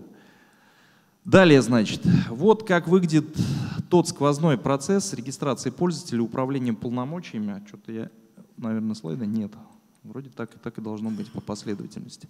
Так выглядит сквозной процесс регистрации пользователей управления полномочиями информационных систем Федерального казначейства. Обращаем внимание, удостоверяющий центр ПАИП САБИФК – это система обеспечения безопасности информации, где происходит система управления полномочиями во всех системах, в принципе, которые входят в периметр Федерального казначейства. Э, обозначены наши контрагенты, ЕГРЮЛ, ЕГРИП, соответственно, э, ЕСИА. Вот, для чего мы это все, понятно, для чего мы их используем. Соответственно, есть НСИ э, в части, соответственно, классификатора полномочий Минцифры. И, собственно говоря, так выглядит доступ к информационным системам ФК. Вот маленький небольшой сегмент, который принят, принят, принятие, вернее, проект доверенности подписанию в госключе, а дальше, соответственно, вы поймете, зачем мы сейчас это делаем. Это перспективная схема. Вот, э, для того, чтобы мы нашли уже, как бы, чем в чем мы заинтересованы фактически в государственном ключе. Что делает возможность там, э, выдачу доверенности для внутренних сотрудников, соответственно, федерального казначейства на начальном этапе. Затем попробуем этот сервис еще и тиражировать в остальную государственную службу, чтобы принять решение о управлении полномочиями, вот, руководитель предоставить максимально, соответственно, возможный максимально удобной и максимально быстрой, соответственно, форме. То есть, грубо говоря, проект доверенности вышел из PayBSABI, ушел в госключ, он подписался в нем и вернулся в PayBSABI для применения, собственно говоря, для исполнения обязанностей в информационной системе федерального казначейства. Пойдем дальше. Значит, здесь дана общая схема получения сертификата с использованием PGOT ключ. Это реализованная схема, которая, э, соответственно, в которой, в, о которой бы чуть-чуть хотелось рассказать пользователь мобильного приложения скачивает мобильное приложение, готовит запрос на сертификат, вся эта история уходит в УЦФК, а, возвращается опять в МП Госключ для, соответственно, регистрации пользователя, от его от идентификации. Вот. Ну, дальше рассказывать схему не имеет значения, потому что более детально, соответственно, Антон Сергеевич расскажет каждый из этих вот шагов, который и представит, э, и расскажет о том, какие, с какими мы там этапами столкнулись. Вот. И еще говорю сразу, коллеги, мы это не самодеятельность, мы всю эту историю делаем под пристальным взором э, нашего доблестного регулятора. Так что э, не считайте, что это мы занимаемся какой-то самодеятельностью. Слышите? Передаю. Спасибо, Вячеслав Сергеевич. Да, ну я расскажу, на самом деле, э, хотел э, в первую очередь клиентский путь, то есть для, для понимания именно как будет устроена работа э, ну, должностных лиц, сотрудников власти и других лиц, там, которые получают сертификаты от УЦ Федерального казначейства, именно в рамках вот процесса получения сертификата в госключе. Да, вот там есть три схемы доступные на, на текущий момент, значит, по которым может быть выстроена работа. Значит, первый, первая схема, вот здесь она на, на картинке, э, когда работа с порталом заявителя э, идет с десктопного компьютера, э, значит, тогда начинается все с подачи заявки, выбирается на портале заявителя, собственно, в качестве ключевого носителя мобильное приложение Госключ, и, собственно, пользователю в мобильном приложении Госключ стартует процедура формирования ключей, запрос на сертификат, Э, после чего пользователь э, проходит э, очную идентификацию в территориальном органе федерального казначейства, соответственно, пройдя идентификацию, предоставив все данные, подписав соответствующие документы, значит, сертификат устанавливается в мобильном приложении Госключ и доступен для, для его для использования. Значит, вторая схема, э, примерно то же самое, тоже очный визит в территориальный орган, но только все, вся работа с, с порталом заявителя происходит прямо из мобильного приложения Госключ. Там очень важно, что значит, обеспечена защита канала э, ТЛС ГОСТовый, и, соответственно, то есть прямо из мобильного приложения по защищенному каналу наш пользователь там, передает данные, оформляет заявку, ну, соответственно, сразу за ней запрос на сертификат, а э, значит, э, казначейство проверяет данные, ну и приглашает товарища на очный визит, после чего выдает сертификат. И третья э, история – это как раз история, с, когда у пользователя есть действующий э, ключ э, и действующий сертификат федерального казначейства, соответственно, похода на очную идентификацию в этом случае не требуется, если там все, там, все нормально. Соответственно, подача заявки через портал, тоже формирование запроса, после чего подписание заявления и запроса уже действующим ключом, момент проверка на стороне федерального казначейства, выдача сертификата и, собственно, а, ну, ознакомление, конечно, с данными, да, ознакомление с данными перед тем, как перед установкой сертификата. Но это, собственно, вот три схемы, которые э, у нас реализованы. Вот так это выглядит внутри мобильного приложения. Э, собственно, появляется э, кнопочка Э, получить сертификат в УЦФК, ну, там, с комментарием соответствующим, что это доступно там, не, не всем. Да. Э, и происходит э, работа с порталом заявителя. Вот здесь определенную работу провели с коллегами с, на, на встречу, что называется, копали. Получилось не два туннеля, а один. Как в анекдоте. Вот. Но, значит, соответственно, после там, проверки э, сведений э, значит, гражданин при, приглашается на идентификацию, ну, получает сертификат. Э, вот эта схема, которая э, в, значит, с точки зрения там, каналов, защиты каналов, как это устроено, то есть есть там, у госключа БЭК, это специализированная защищенная автоматизированная система, э, собственно, до которой Госключ ходит по ГОСТовому ТЛС. Ну, в данной схеме появляется еще взаимодействие по ГОСТ-ТЛС с порталом заявителя. Да, оно тоже защищено э, с использованием отечественной криптографии. Ну и сама, э, само взаимодействие между ЗАС и э, информационной системой казначейства тоже под КБшный VPN. И вот что касается уже применения, да, когда э, речь дойдет до э, того, что пользовать информационные системы э, там, органов власти или какие-то значит, прикладные информационные системы э, будут интегрироваться с этим механизмом для, собственно, применения да, уже ключей э, подписи. Значит, он, у нас вообще э, значит, интеграция с госключом э, возможна там, двумя путями, там, с МЭФ и API.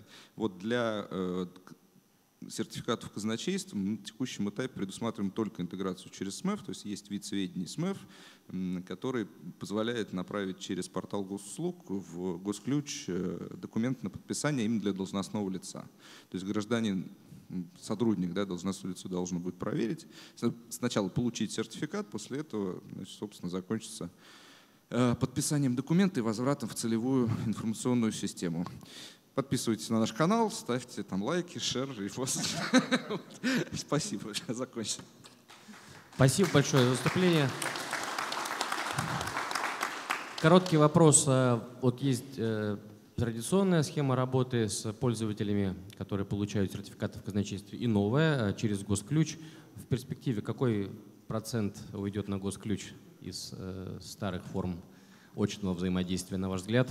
Ну, здесь стратегию, соответственно, обозначить в этом отношении совершенно совершенно, э, я даже боюсь, соответственно, предполагать. Вот, ну что, поживем, увидим. Ну, сами поживем, решат. увидим. В общем, А сами здесь, пользователи э, решат. Как бы история, да, сам пользователь, и какой путь ему будет удобнее, тот он его выберет. Ну, я чуть дополню, но информационная система, конечно, да, ну, определяет, да, насколько это в рамках конкретного бизнес-процесса актуально, уместно, да, и вообще возможно.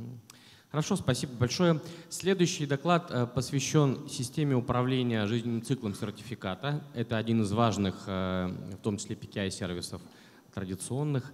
Э, Нам Анна Лучник расскажет о своем решении, о том, как ставилась задача и каким образом она была решена. Добрый Спасибо. вечер. А, Я прекрасно понимаю, что я уже предпоследняя, которая стоит между аудиторией и ужином, поэтому я постараюсь как бы лаконично и интересно рассказать. Нет, нет, у нас полноценное время идет, то есть мы не, не Да, ну, выбиваемся. я, я просто понимаю, что аудитория так уже немножко начинает думать о другом, когда они, они отсюда выберутся. А, И, наверное, изначально тема про управление лицензиями и обновлениями выглядит, может быть, не совсем связанной с э, PKI, да, но я постараюсь показать, что это, в принципе, а, как раз тема текущей сессии, да, про э, то, как мы э, развиваем инфраструктуру открытых ключей и что мы делаем для их работы. А, Соответственно, э, и сегодня, и вчера почти все время говорили о том, что у нас очень сильно растет количество сертификатов, у нас увеличивается электронный документооборот, и растут требования к тому, чтобы на все больше и большем количестве рабочих станций, серверов, веб-сервисов стояли бы криптопровайдеры, стояли бы средства электронной подписи, стояли бы VPN-клиенты. И э, пообщавшись с нашими заказчиками, э, мы поняли, что есть э, довольно большое количество проблем, что когда количество устройств и серверов, на которых должны быть установлены криптосервис-провайдеры, растет, и это становится там несколько сотен или несколько тысяч, то вручную управлять этим становится практически невозможно. А, Кроме заказчиков, мы в том числе консультировались и с уважаемыми вендорами, том числе с вендором, который не далее, чем вчера был признан лучшей организацией в данном направлении. Поэтому, в принципе, вот те проблемы, да, про которые мы говорим, они актуальны для всего рынка. И э, если мы говорим про обновление, то здесь, наверное, ну, с одной стороны, понятно, да, это требование, э, это требование законодательства, э, то, что не должно быть уязвимых приложений и так далее. Но, с другой стороны, есть абсолютно бытовые примеры. А Если мы говорим про клиент-банки, на моей практике регулярно происходило в тот момент, когда надо отправить какой-то очень важный счет. Выяснялось, что клиент-банк перестал работать, потому что потребовалась новая версия криптосервис-провайдера, которая не была вовремя обновлена. И дальше начинается там цепочка событий не очень приятная, да, о том, как все это происходит. Поэтому а, Первая задача, да, это своевременное обновление, устранение ошибок совместимости, совместимость с другими клиентами, с которыми мы работаем. А Вторая не менее важная задача – это управление лицензиями. А, И здесь есть а, несколько моментов. А, С одной стороны, экономический. Очень часто бывает, что лицензии продолжают использоваться на тех устройствах, где уже просто не нужны соответствующие сервисы, и лицензию можно просто переиспользовать. А с другой стороны, можно вспомнить еще про 152-ю инструкцию, а, где говорится о том, что необходимо учитыв- учитывать средства из КЗИ. И это как раз э, техническое средство, которое может помочь обнаружить, где на самом деле установлены там те или иные криптопровайдеры, и главное, что их уникальным образом идентифицировать по соответствующей лицензии. Соответственно, как можно решить эти э, проблемы? Казалось бы, очевидное решение. Мы берем, делаем какую-то систему автоматизации централизованную, но, как мы покажем, все не так просто, да, есть большое количество ограничений и проблем, которые надо решить для того, чтобы это все нормально работало. А Первое, э, наверное, то, что все становится актуальнее и актуальнее с каждым, даже не годом, а днем, а, это разнообразие операционных систем, которые необходимо поддерживать. И нам необходим единый э, агент, который мог бы работать на разных системах, причем как в процессе миграции инфраструктуры с Windows на Linux, так в том числе все равно остается какое-то количество Mac-устройств и есть еще мобильное устройство. А Другая очень важная проблема – это возможность масштабирования и гибкая архитектура. А что здесь а, является ключевой проблемой? Что обычно те устройства, на которых стоит криптопровайдер, либо средства электронной подписи, это не просто какие-то рядовые станции. Это станции тех людей, у которых есть доверенность на выполнение каких-то операций. Это те э, армы, на которых э, установлены, э, например, там, средства либо подписания, либо те же самые клиент-банки. Э, и поэтому э, очень серьезное ограничение о том, как к ним можно подключиться, как на них можно вносить соответствующие изменения. И э, мы в своем решении довольно много внимания уделили на то, как э, выстроить гибкую архитектуру, когда мы можем э, без каких-то серьезных изменений в безопасности, без открывания неограниченного количества портов, настраивать решение так, чтобы оно могло, с одной стороны, проводить инвентаризацию, с другой стороны, выполнять соответствующие обновления. Естественно, централизованная консоль отчетности. И, э, в принципе, наше решение, которое получилось в итоге вот всех этих э, изменений, мы, в принципе, про него рассказывали на прошлом PKI форуме. Может быть, кто-то помнит, мы рассказывали о том, что у нас есть единая платформа, на базе которых мы как раз управляем жизненным циклом сертификатов. И э, на базе того же самого решения, тех же самых архитектурных компонентов, мы сделали специальную редакцию, которая предназначена именно для обновления программного обеспечения для обновления соответствующих криптосервис-провайдеров, VPN-клиентов и в том числе для управления лицензиями. А, здесь э, как раз вот на этом слайде более детально показана архитектура и видно, что а, кроме привычных нам армов, за которыми работают физические лица, в последнее время становится все больше и больше а, технологических сервисов и веб-сервисов, которые используют в том числе и ЭДО, и МЧД, то есть очень много документов, которые в том или ином виде могут выдаваться автоматически, и для них тоже необходимо управлять соответствующими решениями. Что касается необходимых функций, я в принципе про них проговорила, да, но в итоге какие функции должны быть у такого решения. С точки зрения управления лицензиями, наверное, одна из самых главных функций – это инвентаризация. Я уже упоминала про 152 приказ инструкцию, да, о том, что нам необходимо знать, где у нас действительно установлены э, СКЗИ, какие лицензии на них используются, как мы их можем уникальным образом идентифицировать. Э, соответственно, установка этой лицензии и повторное ее использование. Что касается управления ПО, то здесь тоже э, появляется много разных решений. То есть это, во-первых, его установка, обновление. Я уже поговорила о том, почему так важно обновлять программное обеспечение, связанное с криптографией. Но еще не менее важный вопрос – это удаление, да, потому что мы не можем оставить СКЗИ в неконтролируемых совершенно там в э, разных местах, и удаление тоже, в общем-то, становится довольно важной задачей. Кроме того, э, необходимо позаботиться и о том, чтобы данное решение безопасно работало и были различные механизмы его безопасного администрирования. А, в первую очередь это аутентификация администраторов, довольно важная задача. С другой стороны, логирование абсолютно всех операций, которые происходили в данной системе. Отдельно это э, то, как мы дополнительно проверяем, какое именно программное обеспечение будет э, разлито по рабочим станциям. То есть у нас есть отдельная проверка на чек-сумму, что разливается действительно там криптопровайдер или VPN-клиент, а не просто случайно какая-то игрушка, которую администратор решил всем в качестве подарка установить. А, и отдельный момент, да, это настройка безопасного соединения между агентом и сервером а, для того, чтобы максимально постараться защитить коммуникацию, чтобы мы действительно доставили именно то программное обеспечение, которое попытался администратор а, разлить по соответствующим системам. В итоге такое решение позволяет значительно экономить время в процессе установки и контроля, сокращать количество ошибок и, главное, ошибок, связанных с какими-то критичными ситуациями. То есть, когда нам надо подписать важный документ, когда нам надо выполнить перевод в клиент банке. В этом случае мы можем быть уверены, что у нас своевременно обновление было выполнено, и мы можем проконтролировать для разных категорий пользователей, для разных категорий систем, когда соответствующие обновления были выполнены, и заранее проверить, какие версии у нас установлены, будут ли они совместимы в рамках того решения, которое мы собираемся сделать. Что касается сценариев использования, то а, здесь мы дополнительно инвентаризуем рабочие станции, а, армы, сервера и другие устройства, на которых может быть установлен криптосервис провайдера. Собираем данные по используемым версиям, по используемым лицензиям с привязкой, соответственно, к каждому отдельному устройству и список используемых и неиспользуемых лицензий. А, ну и, наверное, самое главное и полезное, да, что есть в рамках инвентаризации, это отчетность и статистика. То есть здесь есть, естественно, срез на текущий момент времени, то есть что есть и какие версии есть сейчас, А, кроме того, еще довольно полезная вещь, э, э, вещь это с точки зрения трендов, как менялось э, количество тех или иных версий, как менялось и изменялось количество используемых лицензий. А, ну и опять же здесь также можно посмотреть информацию о выполненных заданиях. То есть здесь это тоже очень важный момент, которому пришлось уделить очень много времени и сложных технологических решений. Это с точки зрения того, что как задание было выполнено. Потому что, опять же, да, очень часто получается так, что а, часть клиентов находится в отдельных выделенных защищенных сегментах, и нам необходимо контролировать, что мы действительно выполнено ли обновление, а не просто у нас в очередной раз там было заблокировано какое-то соединение.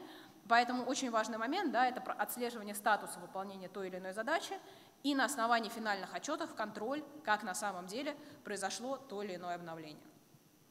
Большое спасибо за внимание. Если есть вопросы, я с удовольствием отвечу. Анна, спасибо. На самом, на самом деле ваш доклад самый что ни на есть в тему нашей сессии, как раз про а, развитие вот этих классических PKI-сервисов, управление жизненным циклом сертификата, позволяет качество работы с сертификатами на уровне а, организации сделать безупречным. Вот какие, а, на ваш взгляд, сегменты предприятий или организаций в первую очередь должны быть заинтересованы в развертывании вашего решения? Расскажите немножко про первых потребителей, про первые проекты. Да, ну что, что касается э, потребителей проектов, по, э, понятное дело, что здесь, наверное, там первый отсекающий фактор – это масштаб, да, потому что автоматизация нужна хотя бы там больше 100 установок и так далее. А второй момент – это банки, да, потому что банки – это в первую очередь там про деньги, и у них очень жесткие и высокие требования к тому, где должны быть установлены сертификаты, как должны быть защищены коммуникации, в том числе во внешней и э, даже внутри внутренней сети, то есть не только TLS э, там, и HTTPS на границе, но и в том числе защита всех внутренних коммуникаций. И опять же, вот то решение, про которое мы рассказали в прошлом году, там было полтора миллиона выпущенных технологических сертификатов, в этом году уже порядка трех миллионов выпущенных технологических сертификатов. То есть в первую очередь мы это видим банки, во вторую очередь ритейлы, потому что для них очень важна э, работа их онлайн-сервисов. Они напрямую теряют деньги при недоступности сервиса.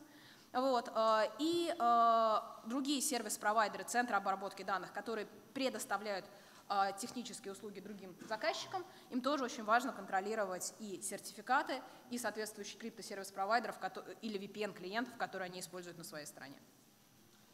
Спасибо. Есть ли какие-то расчеты, может быть, экономической эффективности внедрения или ну, как, какой-то измеримого эффекта на первых ваших проектах? Как вы это обычно подаете? А, да, мы, соответственно, проводили предварительной оценки, то есть мы сейчас как раз э, немножко уточняем а, стоимость, но в принципе у нас получается, что а, оплата лицензии нашего продукта окупается за год, если в компании больше 150 установленных экземпляров. Отличные показатели. Спасибо. Есть ли еще вопросы? Спасибо большое. Продолжайте. Очень Спасибо. здорово. Будем надеяться, Спасибо. что ваш проект будет развиваться. А, Завершающий доклад, э, который хотелось бы э, представить, устремлен в будущее. Э, он посвящен развитию квантовых технологий, которые представляют новые возможности, новые угрозы, а в том числе и для PKI инфраструктуры. Соответственно, на, на такие новые квантовые угрозы нужно реагировать новыми квантовыми решениями. Послушаем э, э, доклад нашего коллеги, э, который э, расскажет про квантовые вычисления и квантовый ответ квантовым угрозам. Да. Добрый вечер, уважаемые коллеги. Благодарю за такое представление. А, меня зовут Сергей Гребнев. Я представляю компанию КУАП. Это разработчик решений постквантовой криптографии. И одновременно мы большие друзья с Российским квантовым центром. Это люди, которые у нас в стране занимается, собственно, квантовыми исследованиями. И в, в моем докладе я постараюсь такими широкими мазками осветить э, некоторые новые вводные, некоторую новую информацию, которую мы в последнее время получили именно вот как исследователи, как разработчики, описать некоторые проблемы, с которыми мы сталкиваемся, и, возможно, попытаться а, поискать какие-то подходы к их решению. А, я напомню на всякий случай, что квантовая угроза состоит в том, что вот-вот мы ожидаем, появится квантовый компьютер достаточной мощности для решения задач перекладного криптоанализа. А, то есть получится, что наиболее важные для нас с вами, как для а, пользователей, как для разработчиков и скажем, а, администраторов удостоверяющих центров алгоритм асимметричной, асимметричной криптографии, будь то электронная подпись, будь то выработка общего ключа, с теми параметрами, которые используются сейчас, могут быть на квантовом компьютере взломаны. Ну, понятное дело, что даже демонстрация возможности кейса того, что, например, действующий алгоритм цифровой подписи ГОСТ может быть взломан, это может повлечь за собой самые печальные последствия. Я даже боюсь их с чем-либо сравнивать. Но это, это нам представляется недопустимым. А, если рассматривать конкретные модельные задачи криптоанализа, а, обычно берется задача RSA 2048, то есть криптосистема RSA, ключ длиной 2048 битов, то есть то, что до сих пор э, чаще всего используется в практических криптосистемах, в том числе и платежных. Вот. Но я обратил внимание, что представители регулятора меня ругают за такую модель а, и хотели бы узнать, что происходит с нашим гостом. Вот. И я рад рассказать, что такие результаты теперь у меня есть в рукаве. Ну, даже не в рукаве, а теперь на слайдах. Итак, в своих прогнозах мы и не только мы, опирались на такой результат, представленный вот в, в левом верхнем углу этого слайда, который нам прогнозирует возможность взлома модельной задачи RSA в течение 8 часов при наличии квантового компьютера мощностью 2000 миллион, извините, 20 миллионов а, физических кубитов не логических, логических надо порядка там трех тысяч, а именно физических. По факту сейчас у нас имеется, ну, вернее не у нас, а у фирмы IBM имеется действующий образец на 443 кубита.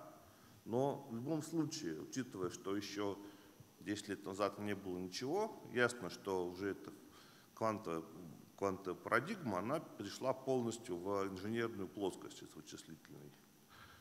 И опираясь на примерно такие же соображения, а, удалось построить оценку для задачи дискретного алгоритмирования на олимпийских кривых, то есть для той истории, на которой построен наш ГОСТ 3410. Оказывается, что там нужно примерно в три раза меньше кубитов, то есть порядка 7 миллионов. Но это еще не все. А, еще не все. Последние результаты, которые стали известны буквально в августе, заключаются в том, что а, были предложены новые подходы к а, построению кодов коррекции ошибок для квантовых компьютеров. Это очень интересная вещь, потому что авторы работы про RSA подчеркивают, что по сути вычисления это у них занимают порядка, порядка 0,05% от всех вот этих вот действий. Все остальное это коррекция ошибок. То есть вычисление, по сути, происходит мгновенно. Но э, новый подход к коррекции ошибок, э, CAT Qubits, в честь известного кота Шрёдингера, позволяет э, осуществлять эту, эту самую коррекцию существенно более эффективно. Вот удалось получить такие расчеты, что для а, нашего ГОСТа понадобится порядка 123 тысячи таких вот элементарных, элементарных а, скажем так, составляющих схемы квантового компьютера для RSA порядка 350 тысяч. Но вы понимаете, что уже эти цифры, это уже сокращение на несколько порядков. Мы переходим от десятков миллионов, по сути, к десяткам тысяч. И это соображение нас достаточно настораживает и предполагает, что текущие прогнозы следует несколько сдвинуть в пользу более, более худшего развития событий для нас, как для а, пользователей классических криптографических решений. Еще одна история, которую тоже кратко расскажу, это развитие гибридных подходов к криптоанализу. Вот многим, наверное, известно, что в конце прошлого года вышла работа группы китайских исследователей, которая заявила вообще какие-то чудовищные цифры для криптоанализа RSA. То есть, по сути, получается, что им нужно меньше кубитов, чем размерность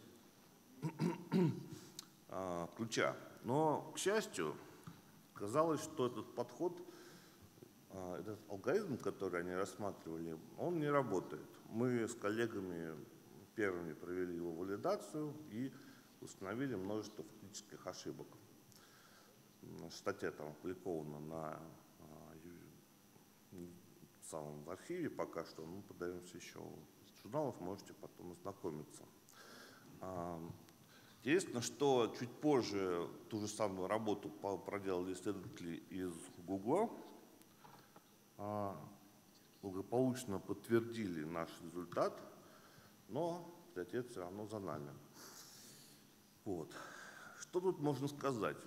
Хотя конкретный алгоритм не работает, мы видим, что подход гибридный вполне себе актуален. Он да, не сработал сейчас, да, он не сработал на конкретном методе. Ну, тут, тут просто и метод был выбран, не самый удачный. Это метод факторизации Шнорра, не, не Шора, который квантовый изначально, а Шнорра, который тоже хороший криптограф, но другой человек. Вот. И что, например, если мы возьмем и применим тот самый подход а, гибридный, например, к работающим методом а, функционализации, тем, которые дают рекордные результаты. Если мы первый а, этап этой задачи построения многочленов, который по сути своей оптимизационный и по сути своей очень хорошо выполняется на существующих квантовых компьютерах. Что если нам удастся вот так вот оптимизировать, что остальные подходы, э, простите, этапы мы сможем проделать вообще моментально. А, ну и учитывая ту модель квантовой атаки, которую мы вынуждены рассматривать, это сохранение данных сейчас, взлом потом, а, мы начинаем ориентироваться на горизонт уже 2026 года, как на первой реализации квантовых атак. Но ну, это мнение поддерживают эксперты таких вот авторитетных организаций, как а, ряд других. В общем, такое ощущение, что надо бы всю деятельность, связанную с разработкой защиты от квантовой угрозы, несколько активизировать. К счастью, работа в этом направлении уже большая ведется. Я рад а, констатировать, что и индустрия, и а, регулятор а, в полной мере понимают, что эта задача очень важная, оказывают всяческое содействие тем, кто занимается разработкой постквантовой криптографии. Вот для вашей информации я хотел бы сообщить, какой статус работ по схемам постквантовой криптографии. Я думаю, что завтра на сессии будет э, более подробно изложено в докладах там, представителей НТЦ ЦК Академии фотографии ТК-26. А на данный момент у нас в рамках ТК-26 разрабатывается три схемы цифровой подписи. Находятся они в, в разных состояниях готовности, но первая из них уже, уже близка к тому, чтобы стать а, методическими рекомендациями. Речь идет о схеме шиповник, основанной на кодах. Вот. И в будущем году мы планируем, ну, не только мы, но и другие участники рабочей группы ФТК, планируем значит, разработку схемы выработки общего ключа. Тоже там, видимо, будет несколько схем для разных сценариев применения. И, видимо, к концу, к концу следующего года они уже будут эти вещи закрыты. Соответственно, когда у нас будет пара ЭЦП и выработка ключа, мы закроем мы в каком-то, каком смысле сможем закрыть и э, ТЛС. И основные проблемы, связанные с э, таким вот базовым применением подписи. Но проблемы, именно связанные с инфраструктурой открытых ключей, с PKI, мы э, создадим себе только новое, я бы так сказал. Если говорить о классификации этих проблем, ну это то, что я всегда пытаюсь говорить из постквантовой криптографии, это три группы. Технологические проблемы, это регуляторные, ну и все остальные. Технологические проблемы сводятся к тому, что существующие протоколы, существующие форматы сертификатов – могут быть не рассчитаны на поддержку постквантовых криптоалгоритмов. Я приведу пример. Вот упоминавшаяся схема подписи шиповник, она очень хороша, но одна проблема есть. Она имеет ключи и, а, собственно, подписи, размер которых измеряется в сотнях килобайтов. И просто при всем желании мы не можем текущую спецификацию протокола ТЛС, ее разместить. Соответственно, требуется доработка протокола, требуется создание какой-то новой версии и так далее. А, другая большая забота – то, что падает производительность. Для конечного пользователя эта история незаметна, но для э, каких-то больших организаций, которые для тех же самых удостоверяющих центров, для криптошлюзов, в частности, в частности а, будет требоваться аппаратное ускорение. Ну, соответственно, мы должны ориентироваться на какую-то поддержку со стороны отечественных производителей аппаратуры, делать какие-то криптосопроцессоры или разрабатывать наборы специальных инструкций для отечественной электроники. Можно переиспользовать те разработки, которые уже имеются, например, для функции хеширования и так далее. Вот. Ну и для того, чтобы все это заработало, для того, чтобы этим смогли пользоваться граждане, а не производить пилот в каком-то количественном периметре, нам нужна поддержка регулятора. То есть необходимость обновления пула стандартов по криптозащите информации, а, пула рекомендаций по автоматизации в части прикладных протоколов, будь то формат сертификатов, будь то ТЛС версии 1.2, 1.3, будь то все вот эти вот протоколы для обвязки удостоверяющих центров, там, отзыв, отзыв сертификатов, проверка, валидация сертификатов, запрос на создание сертификата и прочее будь то регистрация новых аидов для новых алгоритмов. И очень важный момент – это разработка сценариев на переходный период. Что я здесь имею в виду? Что переход на новые базовые стандарты и цифровой подписи и выработка общего ключа сам по себе а, непрост. И целесообразно рассмотреть варианты их гибридного использования с классической криптографией, то есть с нашим старым добрым ГОСТом. Но это не так-то просто, потому что, опять же, надо смотреть на форматы сертификатов. Можно ли разместить в одном сертификате два ключа разных алгоритмов на данный момент, поместятся ли они туда, допускают ли текущие поддерживаемые расширения такую деятельность. То есть хотелось бы, чтобы новые сертификаты сохраняли совместимость со старыми, то есть хотя бы какое-то время. Возможно ли это обеспечить? Это так, такой вопрос, который надо рассмотреть. К счастью, я хочу вас тоже обрадовать, что работа по этой части ведется в рамках а, НТЦ ЦК, что я надеюсь, что удастся создать какие-то подходы к этим самым протоколам. Но все это еще на самых начальных этапах. Вот.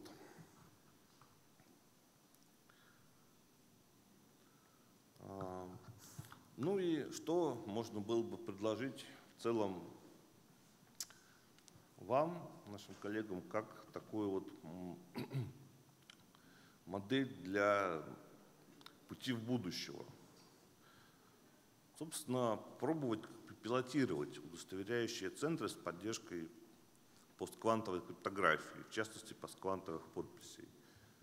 Цели какие? Прежде всего, это то, что мы услышали а, в начале этой сессии, это то, что технология должна быть впереди, впереди регуляторики, естественно. То, что мы опробуем технологию, мы, да, мы набьем каких-то себе шишек, но эти шишки будут небольшими по сравнению с тем, что может получиться, если мы пойдем другим путем. То есть сначала все...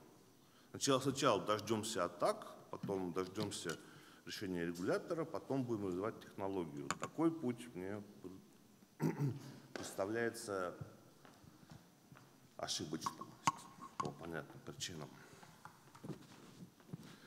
Вот.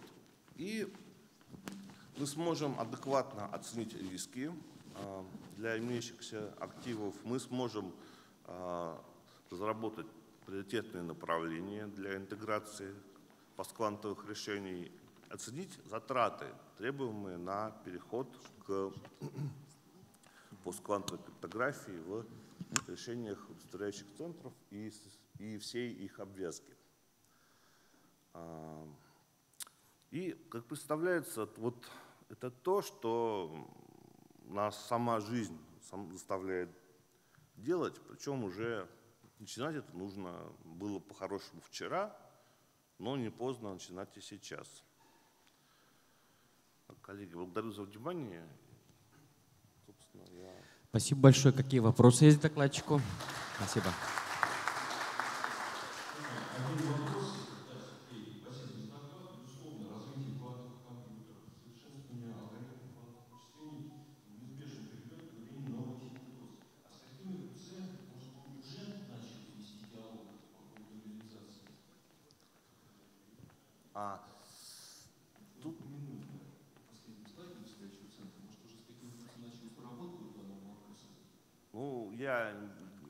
не хотел скрывать название, да, но есть, есть запрос со стороны крупнейших банков нашего государства на, на пилотирование подобных проектов.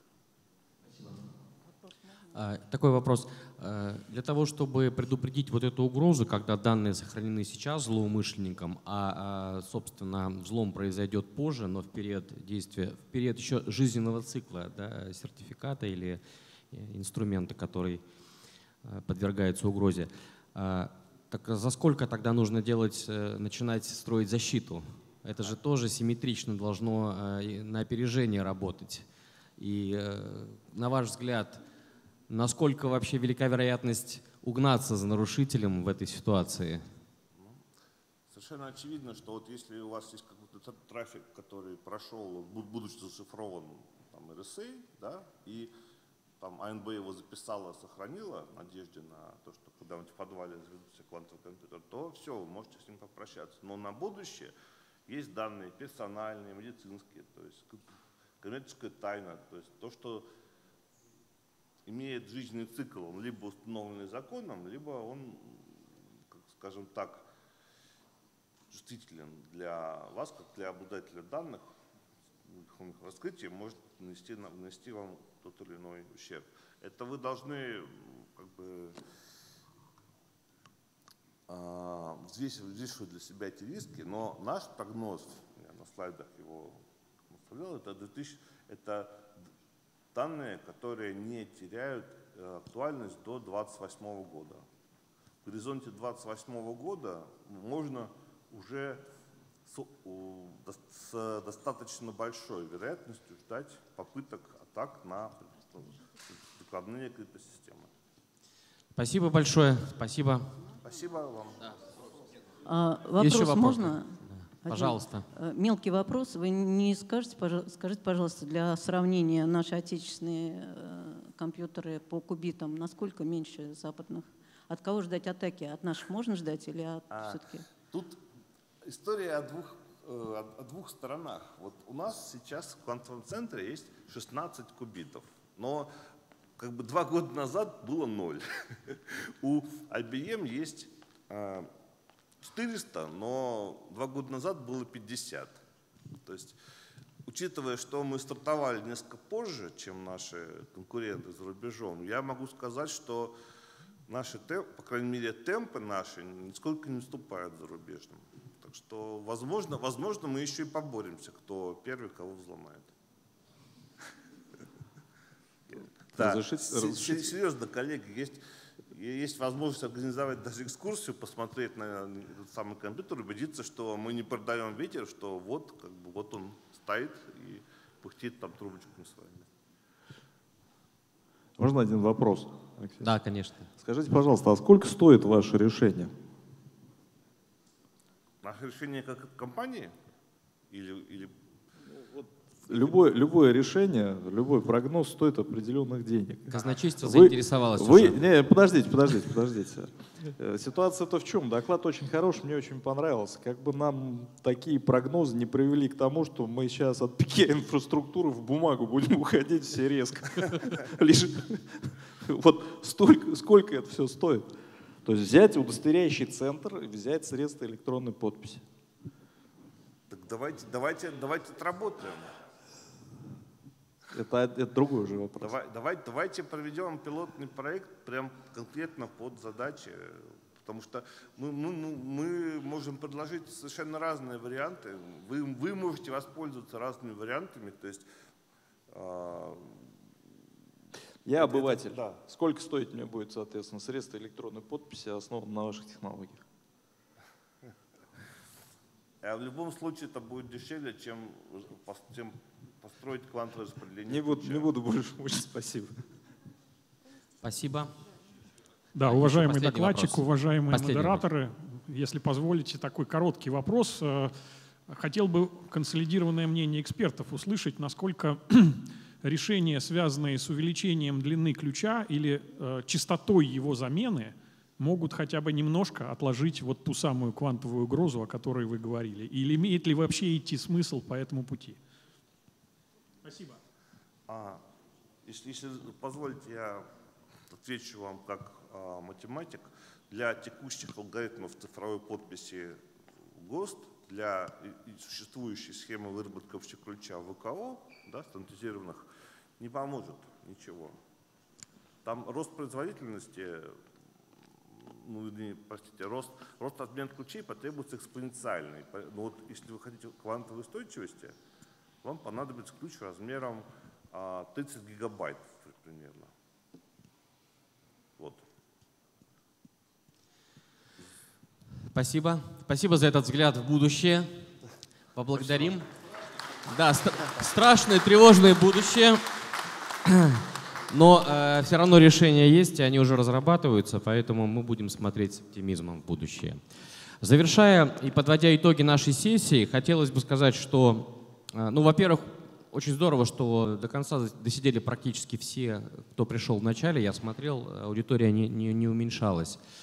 А, наш взгляд в будущее, в том числе, а, наверное, должен быть э, в итоге дополнен коротко общей классификацией. Есть некоторые отраслевые тренды развития, связанные с повышением надежности, устойчивости традиционных PKI-сервисов – есть а, рыночные тренды развития, которые тянут за собой различные социально-экономические процессы, э, голосование электронное, например, да, недавние примеры, здравоохранение, э, коммерция электронная, банки. Они тянут за собой развитие PKI-сервисов. И есть еще некоторые комбинированные технологические тренды, когда PKI-сервисы объединяются с другими интересными технологиями, такими как блокчейн, как искусственный интеллект, как э, интернет вещей, где тоже PKI становится одним из э, важных и э, перспективных компонентов.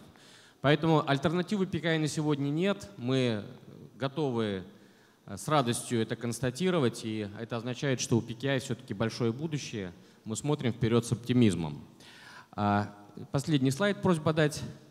И мы объявляем завершение нашей сессии на таком позитивном ключе.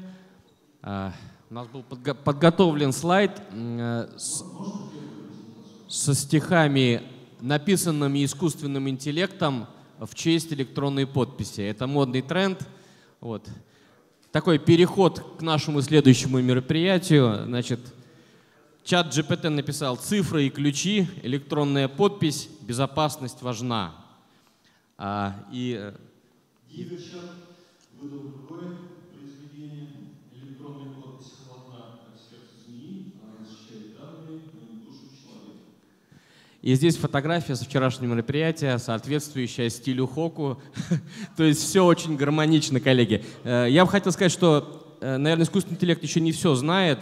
Она душу не защищает, но успокаивает душу пользователя, когда он использует э, электронную подпись, квалифицированную, созданную на основе PKI. Спасибо всем большое.